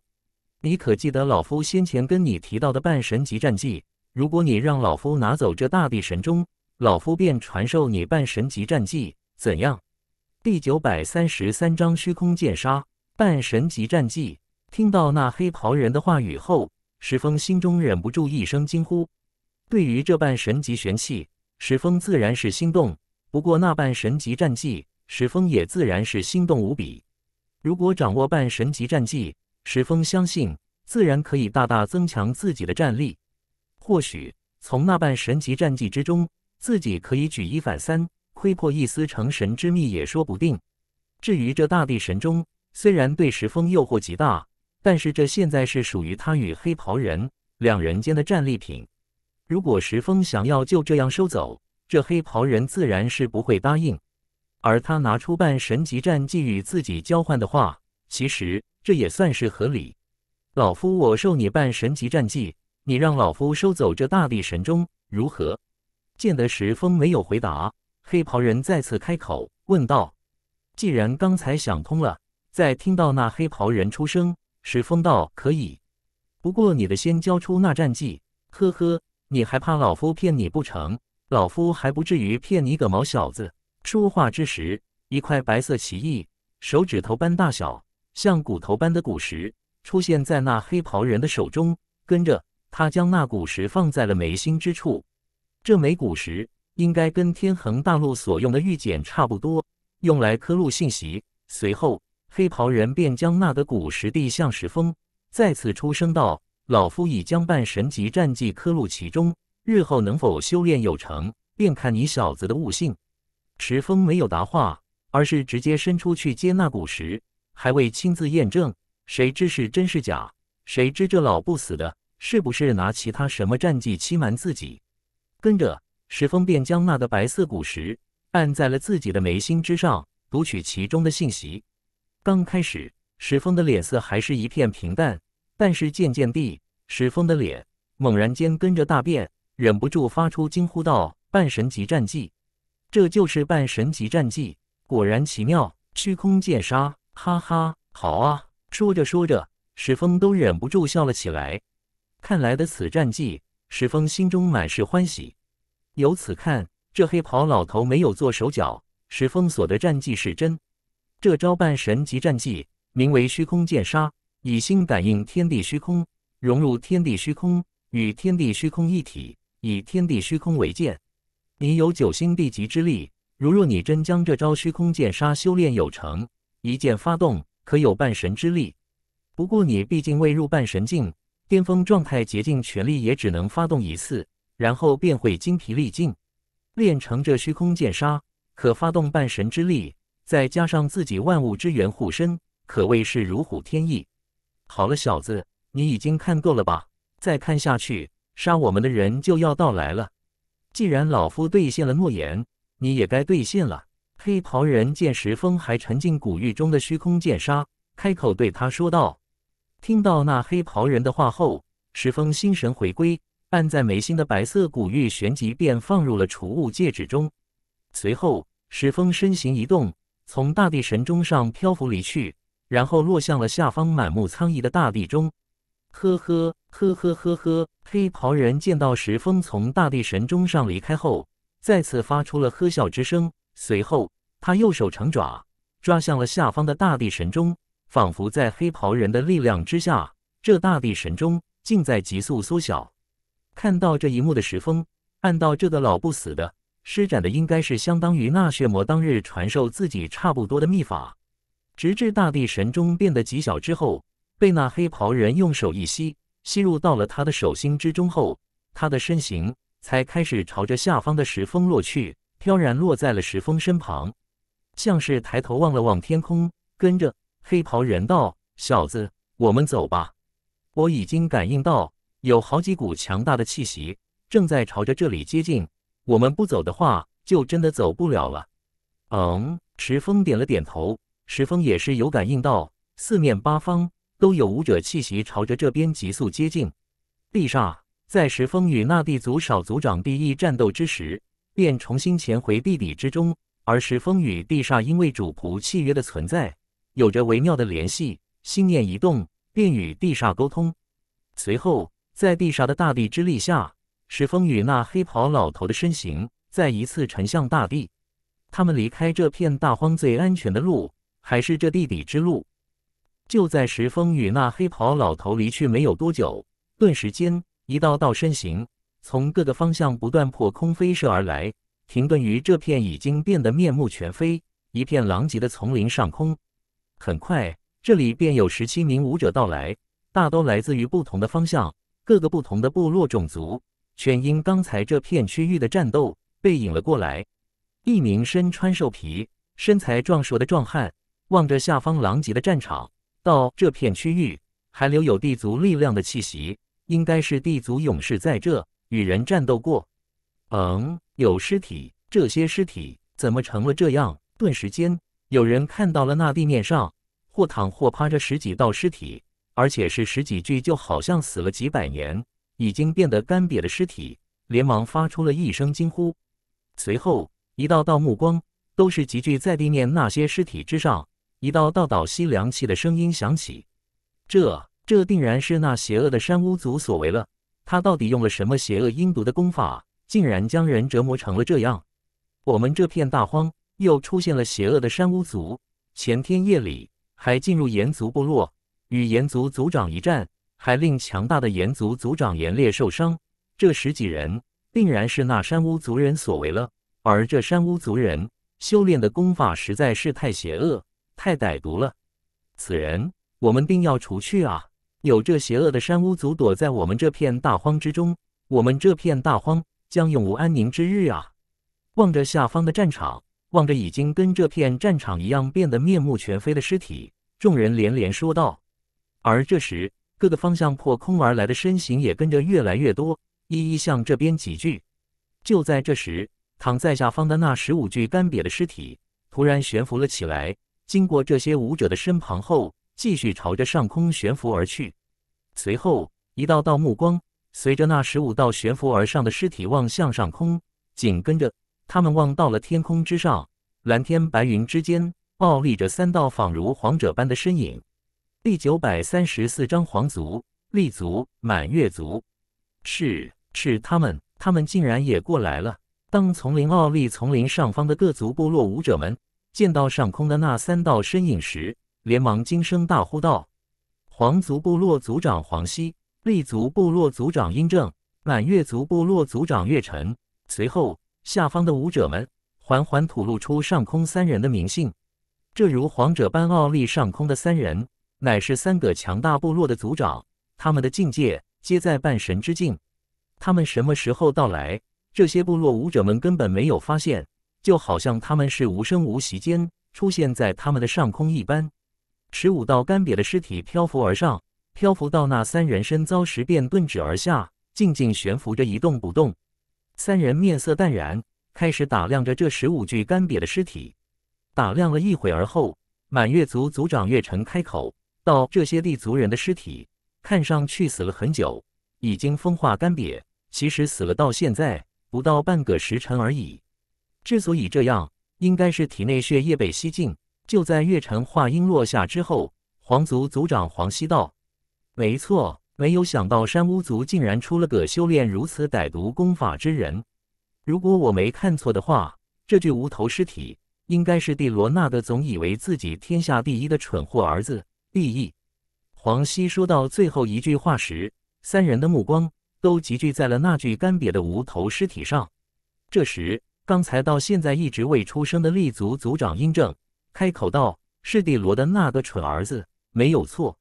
帝罗这辈子就这么一个宝贝儿子，一直当祖宗般捧着。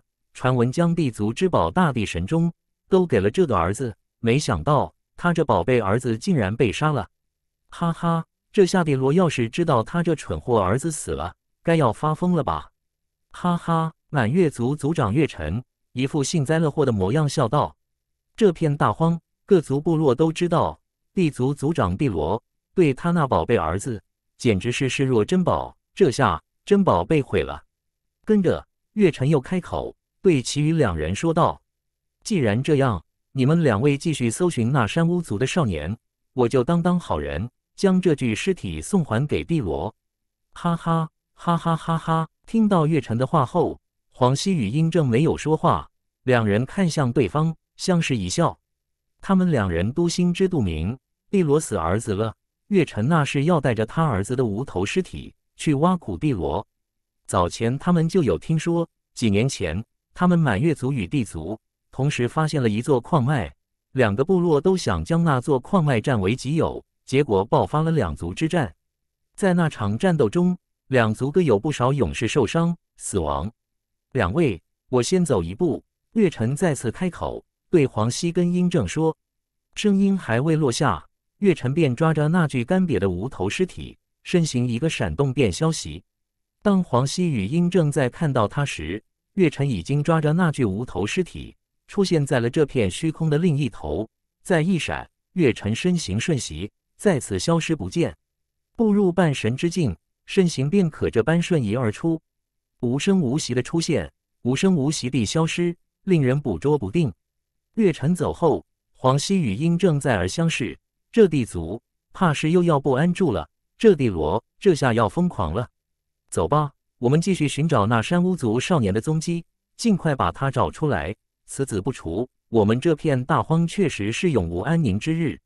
黄熙对殷正说道：“嗯，确实得尽快找出此子。”殷正淡然笑着点头说：“此刻，他们已经不仅是铲除这山巫族祸害，还这片大荒一片安宁了。帝意死了，而他们可是知道，帝意生前可是随身带着地族之宝。”半神级战器大地神钟，而以两人的敏锐感应，自然感应出下方的战场还残留着大地神钟力量的气息。地意已死，这大地神钟必然落入了那山巫族少年手中。只要他们找到那山巫族少年，将他击杀，那么大地神钟……此时此刻，皇族族长黄熙与立族族长殷正脸上都挂着淡然的笑意。随后，在下方数十名武者的注视下，两个的身形一个闪动，消失在了他们的视线当中。随着他们的消失，那还悬浮在空中的那十四具干瘪尸体纷纷而动，朝着大地掉落。小子，这虚空剑杀，你领悟地如何了？漆黑的地底之中，在地煞的大地之力下，在黑袍人的方向指引下，他们三人的身形还在急速穿梭着。刚才发出声音的，自然是那黑袍人苍老沙哑的声音。虽在这地底下赶路，不过这一路上，石峰依旧一直沉浸在那半神级战技虚空剑杀之中。黑袍人的那声音将石峰从沉静中打断。石峰发自内心地感慨道：“这半神级战技果然精妙，不过也确实玄奥。这一路上，本少爷仅领悟到一点点皮毛，要想真正大成。”确实得花费不少时间与精力下去。哦，听到石峰的话后，黑袍人发出有些惊讶的声音道：“这么短的时间里，你竟然就有所感悟？不会吧？以老夫这天纵之姿，当年领悟这半神级战技，可是足足花了五天时间才领悟点皮毛，而你竟然仅过去两个时辰，便说有说感悟？小子，你该不会感悟错了吧？”可千万不要没练成这半神战技，反倒走火入魔了。哼！听到这黑袍老头的话后，石峰发出一阵不屑的冷哼，道：“本少的领悟能力，岂是你等可比？曾经的九幽大帝可是天纵之姿，在天恒大陆中便以自身战斗经验及物力，创下绝世九幽战绩。石峰可以百分之百的坚信自己，自己对那虚空剑杀的感悟不会有错，更不会走火入魔。黑袍人呵笑道：“呵呵，但愿你不会有错，老夫也不想看到你走火入魔。”这时，石峰凝视着前方，问道：“从这地底离开这片大荒，以我们现在这速度，还需要多久时间？如果一直按照现在这速度前行的话，最快也得需要一个月左右。”黑袍人回答道：“一个月还要这么久？”石峰说：“我说是按照现在这速度，得需要一个月。”黑袍人说，跟着又说道：“而按照我们目前处境的话，老夫还真说不准的需要多久，我们才能够真正脱身。”这话是什么意思？听黑袍人那话，石峰面露不解，问道：“他好像知道了一些自己不知道的信息。”第九百三十五章各强出动。呵呵，黑袍人又呵笑了一声，对石峰道：“本来我们是不需要的那么麻烦了的，可是如今地义死了，大地神钟落入了老夫手中。”听到黑袍人这话，石峰渐渐明白了，道：“你是说，前面在这片大荒搜捕我们的也就一部分人而已，而如今为了那大地神钟，将会引出更多的人，我们的阻碍将要更大。”没错，黑袍人应道，跟着道：“地族少族长地已身亡，地族至宝半神级战器大地神钟丢失，那地罗怕是要疯了。地族想必要全族出动了，这地下怕是快要不再安全。而半神级战器大地神钟的诱惑，其他各族想必此刻都已经在蠢蠢欲动了。呵呵呵呵，看样子麻烦将要越来越大，越来越多了。不。”我的一人，一片茂密的大山林中，顿时响起了一阵如同凶兽般的怒声咆哮。整片大山都因为那道怒声而剧烈地震荡起来，大树不断的倒下，山体在不断崩塌，大地在不断开裂，裂出一道道巨大狰狞的裂口。一吼之下，竟仿如大地之神发怒：“山巫族，我地族与你们势不两立！山巫族孽畜，我地罗定要将他抽筋扒皮！”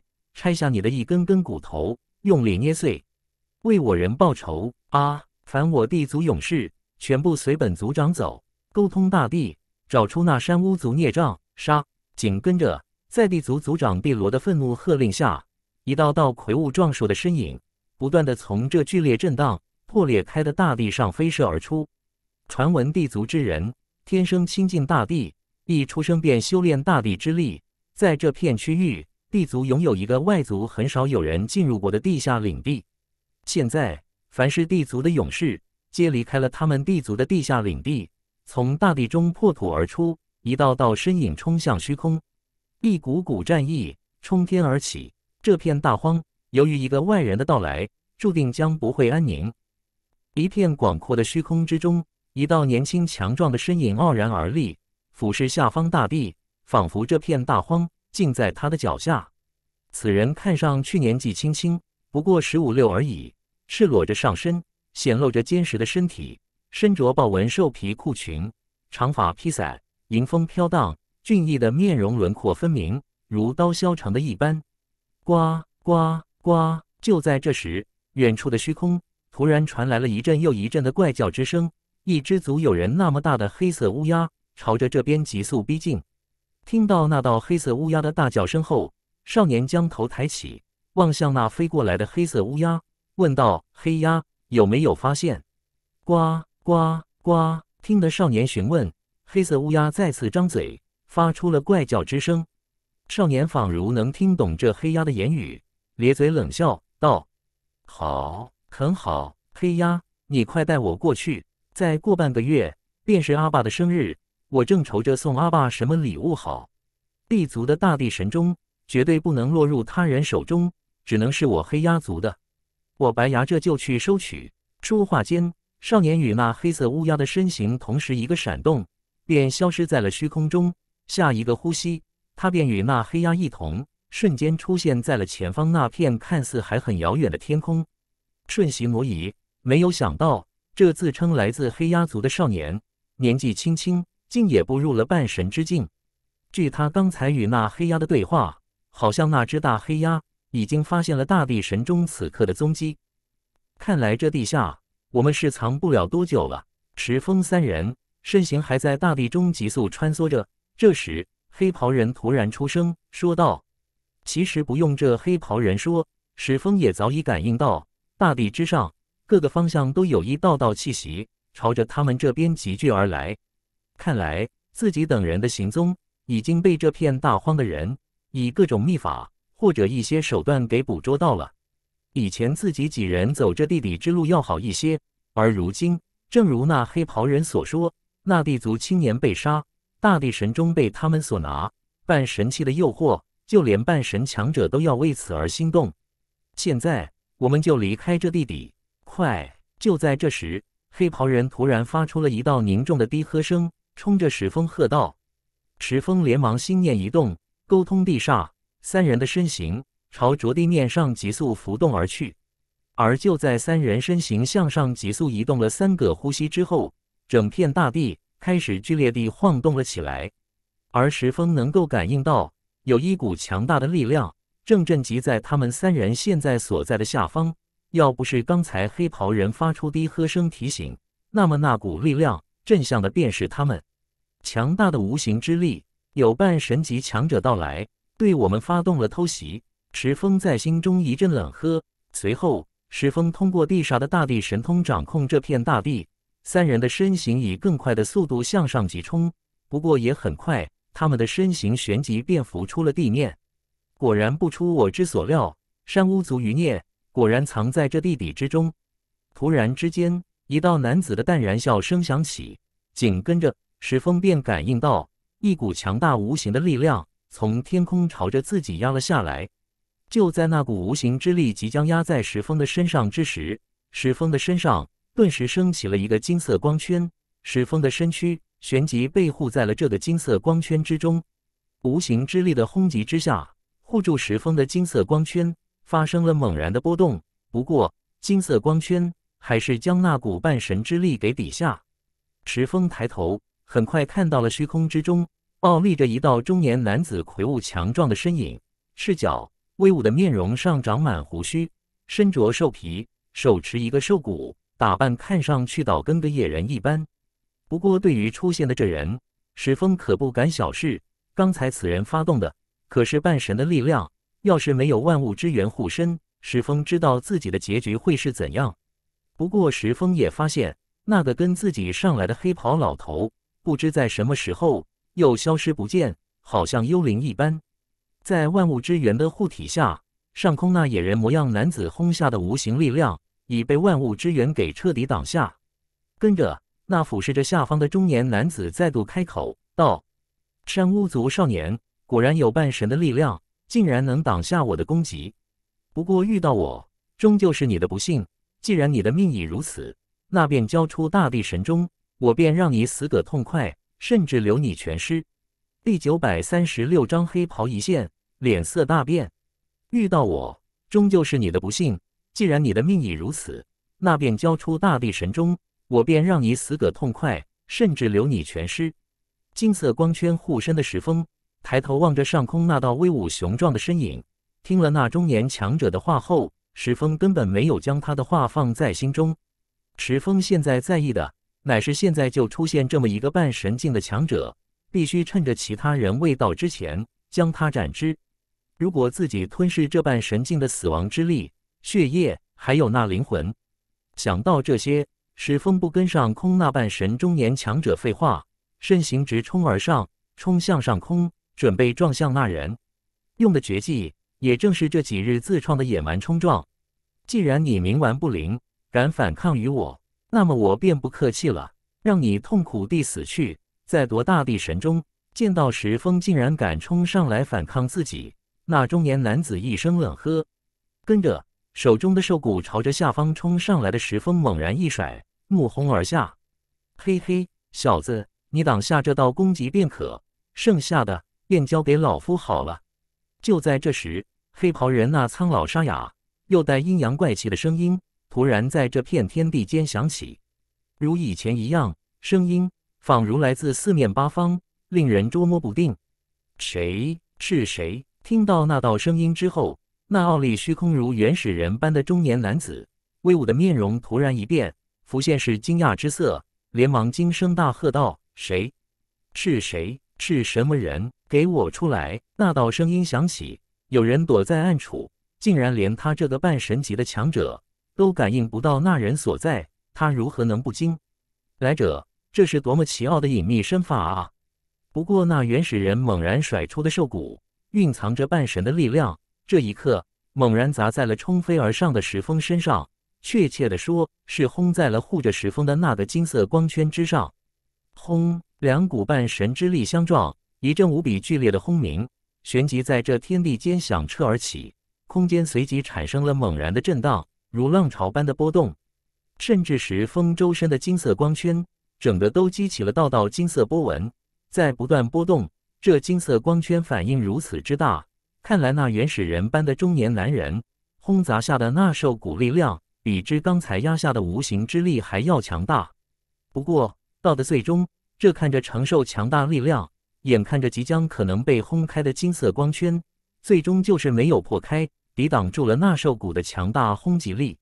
咚！就在这时，突然一阵钟被敲响的钟鸣之声，突然在上空响彻而起。石峰抬头，见到那原始人的头顶上方。徒有一口青铜大钟浮现，正是地族之宝大地神钟。大地神钟见得浮现在自己上空的大地神钟，原始人般的壮汉一阵惊声大呼。原本他以为大地神钟是在那山巫族少年身上，想却是没有想到，山巫族不仅一人，大地神钟也在那另一人的手中。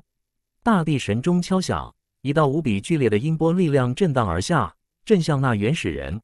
抬头面对着那大地神钟震下的超强音波，这原始人的面色突然在变，变得满是坚毅，看上去顿时间又变得满是战意，冷喝道：“好，果然是大地神钟，终于出现了，便让我杀你们山巫族余孽，取这地族至宝，抢我战力！”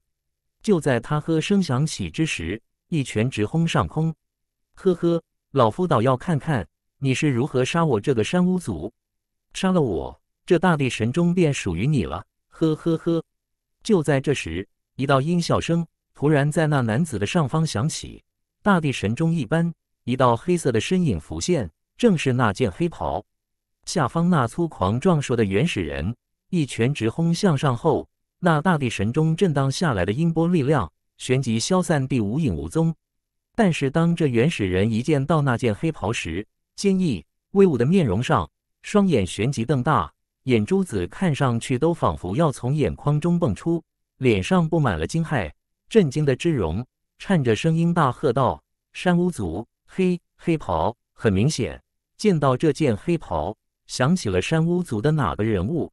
这个半神境的强者在害怕，在战斗了。呵呵，黑袍人又响起了一阵轻呵声，随后淡然开口道：“既然你知道了我的身份，那你死在我的手中也该无憾了。”就在这黑袍人话音落下之时，他身旁的那口大地神钟朝着下方猛然震下，照向那原始人。不不不要！见震下的大地神钟，感应着此刻大地神钟上传出的力量，原始人发出了满是不甘、惊骇的大吼。尽管知道对方的身份，尽管知道对方的强大，但是他要杀死自己，怎能让自己无憾啊？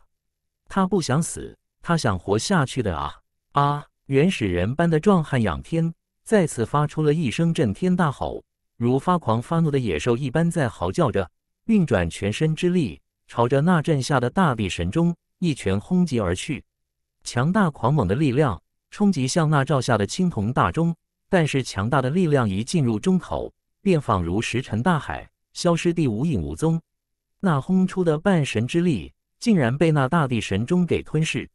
而就在这时，大地神钟继而照下，转瞬之间便将那粗狂的原始人给罩在了其内，然后继续急速往地面坠落而去。见到大地神钟下落，原本停下来看热闹了的石峰，连忙身形一动，往一旁移去。既然这老东西说了接下的让他来，那么石峰也就没有必要再出手，自己在一旁看战斗又何乐而不为？而且石峰注意到。这壮汉当见到那黑袍时，好像很忌惮似的。转瞬之间，轰地一声，青铜大钟与大地撞击的轰鸣响起，大地神钟落地，整片大地都仿佛发生地震一般，在不断震荡、颤动。而这时，一道黑色的身形飘然而落，正落在了那个大地神钟上。咚咚咚咚咚咚咚咚咚咚，这时大地神钟不敲自响，一道道钟鸣之声从这大地神钟上响起。啊啊啊啊啊，紧跟着。一阵又一阵极度痛苦的惨叫从这大地神钟内部传出。这声音已经不似人声，仿佛真跟野兽在痛苦的吼叫，没有什么区别。第九百三十七章施展虚空剑杀。大地神钟不敲自响。不断的响着被撞击的钟鸣，大地神钟内痛苦吼叫声也是跟着不断。石峰身形也是飘然落于这大地神钟上，站立于那黑袍人的身旁。那半神强者被困于这大地神钟中，石峰在等待着此人身亡，然后开始行吞噬之事。这毕竟是半神强者的死亡之力，魂魄、血液，石峰又怎么能错过？呵呵，黑袍人面向石峰。发出一道笑声，笑而不语，仿佛知道了石峰的心思。很快，野兽般的吼叫声已经消失，不再从青铜大钟中传出，而大地神钟自响的钟鸣声节奏也变得越来越缓，跟着响声也彻底停了下来。开！这时，黑袍人右手从袖袍中探出，五指大张，掌心对着身下的大地神钟，在一股神秘的力量下，庞大的大地神钟正在开始缩小。而这时，石峰才仔细的注意到，这个黑袍人声音沙哑、苍老，跟个老头似的。但是他此刻五指大张的右手却是洁白修长，倒像个年轻姑娘的手。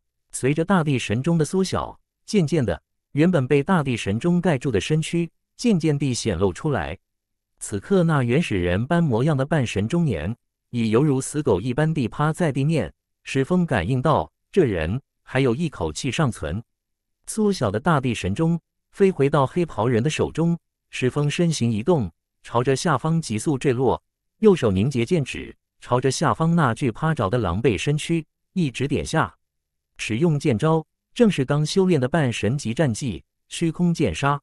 在石峰的这一指之下，下方那道狼狈的身形上方有一道无形的剑之力量浮现。嗯，身形还悬浮半空的黑袍人。将缩小飞回的大地神钟收回后，突然感应到下方传来的力量波动，发出轻嗯，然后低下了头。这小子果然有着天纵之姿，才这么短的时间，竟然便将虚空剑杀修炼到了这般境地。轰！那道无形之剑猛然轰击而下，一声剧烈的轰鸣在大地上响起，大地再次开始了剧烈的晃荡。而在那虚空剑杀的力量下，那道趴在地面的身躯已经变得支离破碎，化为了一块块血肉，仿佛被无形柄利剑给切割了一般。持风九幽冥功运转，旋即吞噬了死亡之力，跟那缕从一块块肉块中飞出的那缕魂魄。随后，圣火的力量再而运转，一块块血淋淋的肉块中，那些血液朝着石峰喷涌而来，一块块肉块很快干瘪了下去。石峰吞噬了那半神强者的魂魄，本来就离突破已经不远了的灵魂之力，立即从五星地级升为了六星地级。而吞噬了那对石峰来说有着磅礴能量的死亡之力跟血液，石峰已经感应到体内与圣火融合的那颗变态丹田能量得到了猛然间的提升，达到了十分之一。这颗变态的丹田能够让他达到这十分之一，也算是十分了不起的事。感应着自己丹田的石峰，苦笑着自我安慰道：“自己有了这颗丹田以后，日后突破的路还长着。这一次斩杀这人，看来受益最多的还是你这修炼邪毒功法的小子啊！”这时，黑袍人的身形也下落，落在石峰的身旁，说道：“石峰转过身，也望向了那黑袍人，说道：‘刚才我看到这人看到你，好像极为忌惮。’”你的真实力量或是身份，好像不简单啊！这是自然。黑袍人傲然出声说：“我们山巫族人在这片大荒可是有着赫赫凶名，见到我们山巫族的任何一人，他们都要忌惮。据我所知，这片大荒之人对山巫族人见到那是满腔的恨意，恨不得将你们给生吞活剥。本少就是个很好例子，他们把本少怀疑成你们山巫族人，出动各族部落追杀，恨不得将本少杀灭，还这片大荒安宁。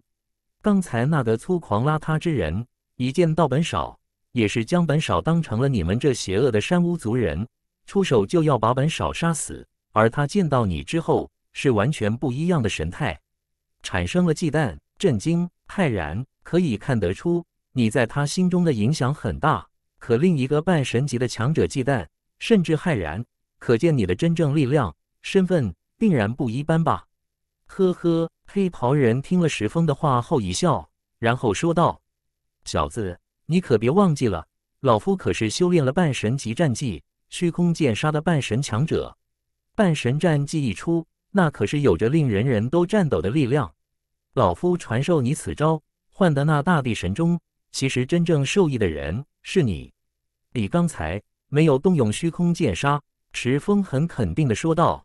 如今他正在修炼虚空剑杀，虚空剑杀这老不死的有没有动用，他自然清楚。那是老夫以前动用过，那个人应该见识过。现在还记得老夫施展那一半神战技的强大。还记得老夫那时候的风采？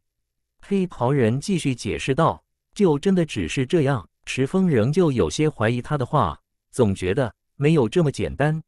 不过跟着石峰也不再多想，也不再多管，管这老头什么身份或是如何的强大，只要他带自己离开这片大荒，脱离这片大荒强者的追杀，那便可以了。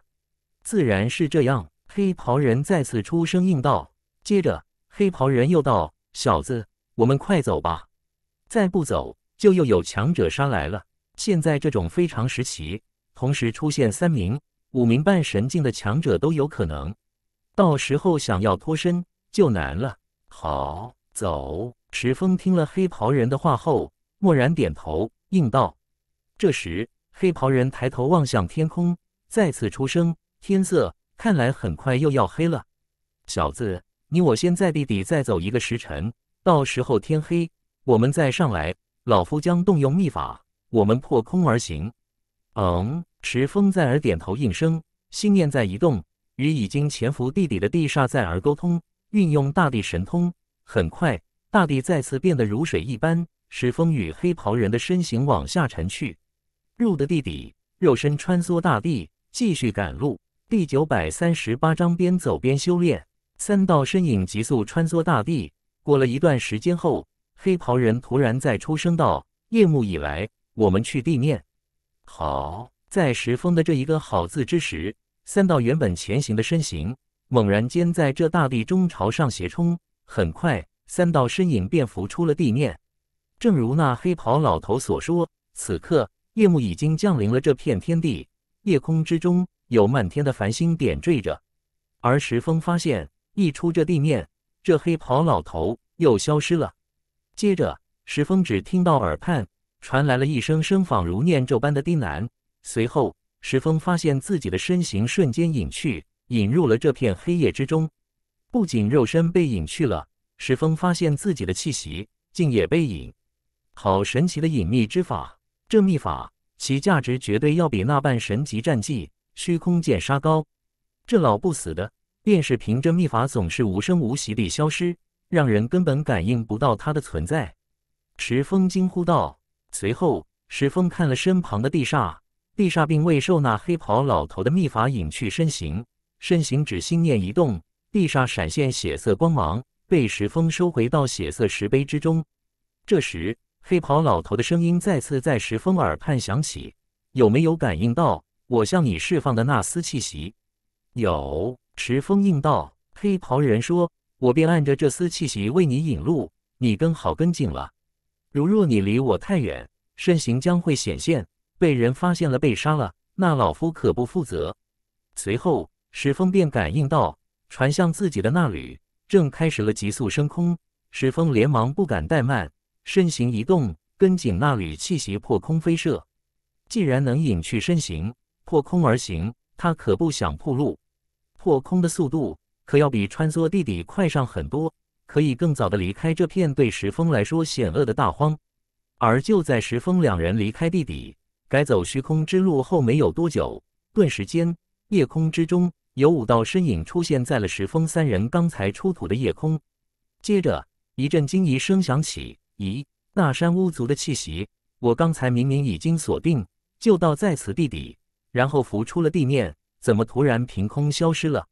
那道声音响起之后，接着又有人开口道：“确实，就连我也感应不到他的存在了。”看来这山巫族确实不简单。炎族部落传出消息，那夜炎烈与他一战都身受重伤，而且我们前面发现那被分割的尸体，如果我没有看错的话，那是犀牛族的西光半神之境，跟我们相同的存在。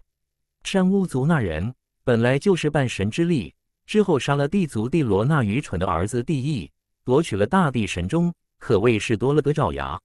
如今我们失去了此孽障的行踪，在这坐以待毙，倒不如去找金夫。他那千里神境，不是说可洞悉这千里以内的一切事物。我们失去了这孽障的踪迹，可他那千里神境，说不定还监视着那孽障。嗯，既然我们找不到，便去金夫哪里瞧瞧，也免得让其他人先找到那孽障。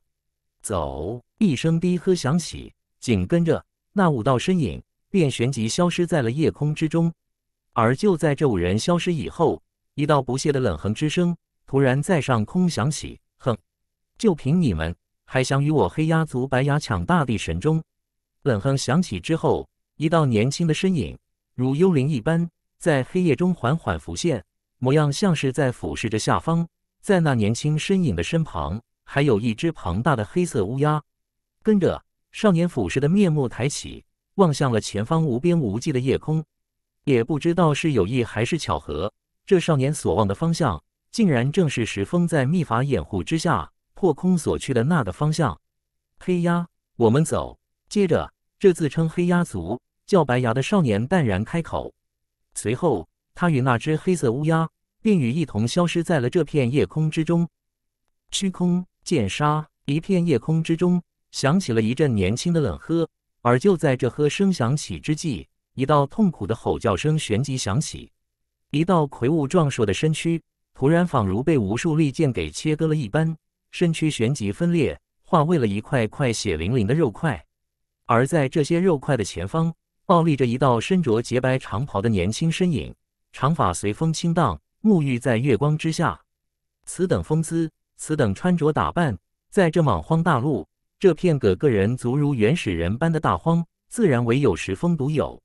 石峰刚才施展的虚空剑杀，一招之下，刚才所斩杀、身躯切割的，竟是一名拥有九星地级战力的强者。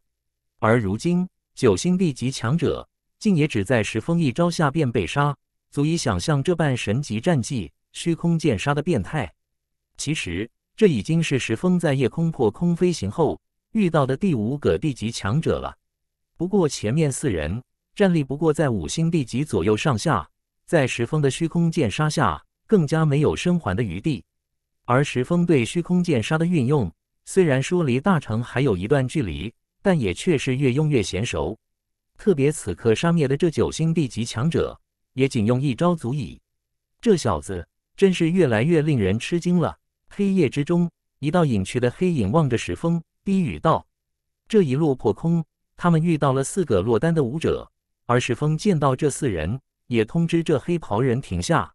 原先他也不知道石峰要做什么，不过在石峰杀死了第一个人时，他就知道了，原来这小子是将领悟的虚空剑杀，在他们身上实践。至于杀死这些人，石峰自然不会感到丝毫的愧疚。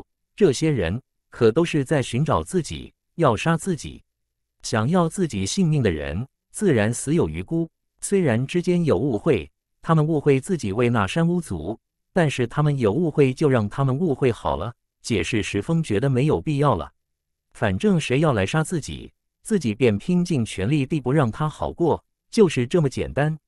很快，石峰便吞噬了那九星地级强者的死亡之力、魂魄、血液，一块块干瘪的肉块洒落向下方大地。与此同时，石峰的身形再次在黑夜中隐去，是那黑袍人在对他施展了秘法。好了，就快到了。就在这时，黑袍人苍老沙哑、淡然的声音再在石峰耳畔响起。第九百三十九章九头黑凤，就快到了，到哪了？当石峰听到那黑袍人的声音，双眉一拧，面露不解之色，出声问道：“因为石峰听他说过，当时穿梭地底离开这片大荒，最快也要一个月。穿梭大地要一个月，破空而行虽然要快上很多，但起码的需要二十天，怎么可能现在会到？所以石峰认为这老头所说快到了。”定然不是他们离开了这片大荒，而是到了另外一个什么地方。俯视身下，下方映入石峰眼中的，还是一大片无边无际的山林。呵呵，黑袍人没有回答石峰的话，而是发出一声呵笑，跟着笑道：“你很快便会知道了。”听到他的话，石峰双眉皱得更深，低喝道：“你搞什么鬼？你到底要带本少去什么地方？”尽管俩人已经几次一同对敌过。但依旧只是合作关系，石峰对他的提防从未减少过。甚至此刻，石峰破空的身形突然间一个停顿，没弄清楚，他自然不会跟着这老不死的飞。这时，黑袍人再出声，笑道：“呵呵，小子，这几日老夫与你一直同生共死，甚至还传你虚空剑杀，你竟然还怀疑老夫？记录虚空剑杀的古石虽然是你给我。”但那只是你我间的交易而已。石峰道，跟着又道：“你既然没有不轨之心，那么本少刚才问你到哪了，你为何不回答本少？小子，你看这天色。”黑袍人说：“天色。”听到这黑袍人莫名其妙般的话后，石峰轻喃一声，然后望向这天色。黑袍人再次出声说：“老夫跟你说过，夜幕降临，老夫这秘法才能更有奇效。”如今天即将破晓，我们继续飞行的话，呵呵，就等着被他们给包围击杀吧。金黑袍人这么一说，石峰才注意到，这天确实要亮了。这老头确实跟自己说过，天地终归黑暗，夜幕降临之时，可助他与自己隐藏。随后，石峰又道：“那么前面你带我所去的，到底是哪里？”拦腰山脉。黑袍人道：“拦腰山脉。”听到这四个字，浮现石峰脑海中的，应该相同于天恒大陆妖兽山脉般的存在。蛮妖山脉有强大凶悍的蛮妖存在。既然这天即将破晓，到时候我们的行踪将可能被那些人给发现，我们便暂先躲入这蛮妖山脉之中。就算那些人敢进入蛮妖山脉追杀你我，如果我们真的不敌，便引动那些强大的蛮妖凶兽。黑袍人说：“黑袍人最后的话没有说清楚完整，不过石峰已经清楚，如果到时候他们真的不敌那些追杀而来的强敌，便引动山中的蛮妖来个两败俱伤，或是同归于尽。但是石峰可没有忽视，这个老鬼有着那神秘玄奥的秘法，如果真到了他们所想的那一步，怕是他与追杀的人要面对山中蛮妖，而这个死老鬼肯定会悄然溜走。”不过天真的要即将破晓，如今因为前几日杀了地族那地异后，局势早已跟先前不同。现在的自己好像除了进入这蛮妖山脉后，别无选择。就连黑袍人都称那蛮妖山脉的蛮妖凶兽强大，那么定然是强大。自己进入蛮妖山脉后要小心谨慎，那么那些追杀而来的人如果也跟进去，定然也需要谨慎小心了。不像前面那样。肆无忌惮的傲立虚空，或是破空，有强大的蛮妖在，他们的视线及感应也必然大受限制影响。好了，既然我们已经无路可走，那么便入蛮妖山脉吧。石峰开口与那黑袍人说道：“走。”黑袍人苍老沙哑的声音再而响起，随后石峰便感应到黑袍人传来的那缕气息再次开始了急速移动。这时。石峰的身形也连忙跟着移动，感应着那缕气息，破空而追。石峰与黑袍人的身形在这片夜空之中隐秘破空疾驰，而天也正随着时间渐渐地过去，慢慢地沦为了一片灰蒙。而此刻还在破空疾驰的石峰突然感应到黑袍老头传出来的那缕气息，朝着下方俯冲而下。感应到那缕气息变化的石峰也连忙不再犹豫。身形朝下俯冲，凭借这下冲的轨迹，视线扫视而下，落在了那一大片连绵不绝的山脉上。想必那大片山脉便是那老东西说的蛮腰山脉了。石峰确实有感应到一股股凶悍气息正从那片山脉中传来，甚至有其中几股令石峰都感觉到心悸。吼吼吼吼吼！紧跟着一声接着一声的凶兽嘶吼从那片山脉中传出，虚空之中也时常因为凶兽的嘶吼而产生如水波般的震荡。厉！就在这时，突然一道怪鸟般的厉啸之声响起。而石峰看到一只漆黑巨大、布满毛羽、生有九头的大型怪鸟从下方的蛮腰山脉中飞出，两只同样巨大的黑色双翼一展，那只九头巨大黑鸟正在急速升空。厉厉厉厉厉！一阵阵凶恶凄厉、撕心裂肺般的厉啸从那九指庞大的鸟头上不断传出。石峰此刻的目光差不多全数凝聚在那正急速接近自己的九头大鸟上。这九头大鸟仿佛看破了那黑袍人施展在石峰身上的秘法，九只鸟头齐齐面向石峰，满是凶狠暴力。这模样倒是有点像天恒大陆上的远古神兽九头黑凤。冷视着那很明显冲着自己而来的九头大鸟，石峰冷声低喃道：“跟着。”石峰又道：“不过，远古神兽九头黑凤乃是神级神兽，这头妖兽不过进化至九星地级而已。”或许是九头黑凤的后裔也不一定。这莽荒大陆本就与天恒大陆有着说不清道不明的关系。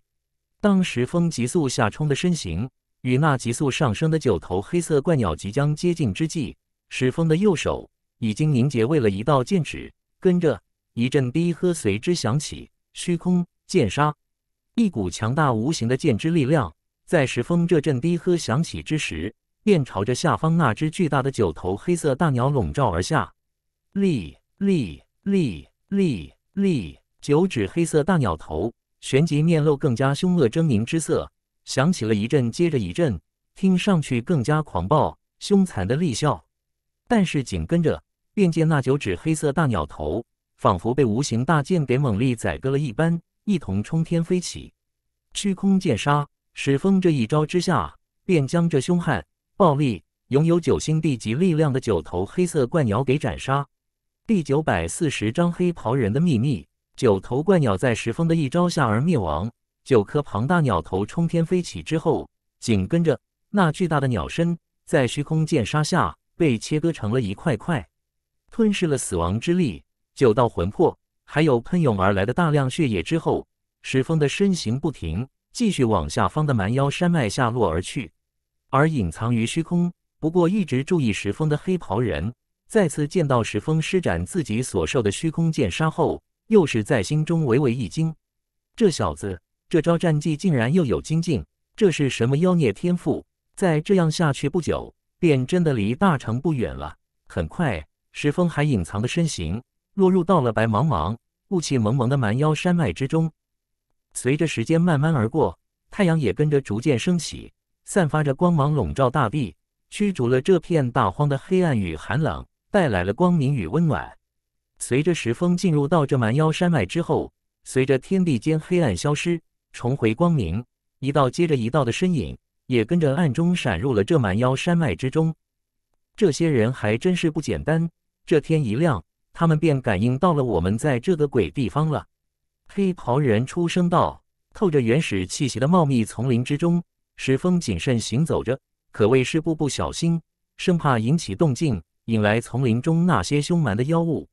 满是妖物存在的蛮妖山脉，引来一只妖物所闹出的动静，就有可能引来第二指、第三指、第四指，还可能引来更加强大的大妖。不要那些追杀自己的人没来，倒反被这蛮妖山脉的妖物们给干掉了。而此刻，石峰虽然知道那黑袍人就在自己身旁。不过，这黑袍人早如往常一样，以秘法隐去了身形，自己根本看不到、感应不到。听到这黑袍人的话后，石峰道：“那些人感应到我在这里，这是不用怀疑的事了。不过你这老不死，我看他们未必知道有你的存在吧？”呵呵，听了石峰的话后，黑袍人只呵呵的笑了两声，没有说话。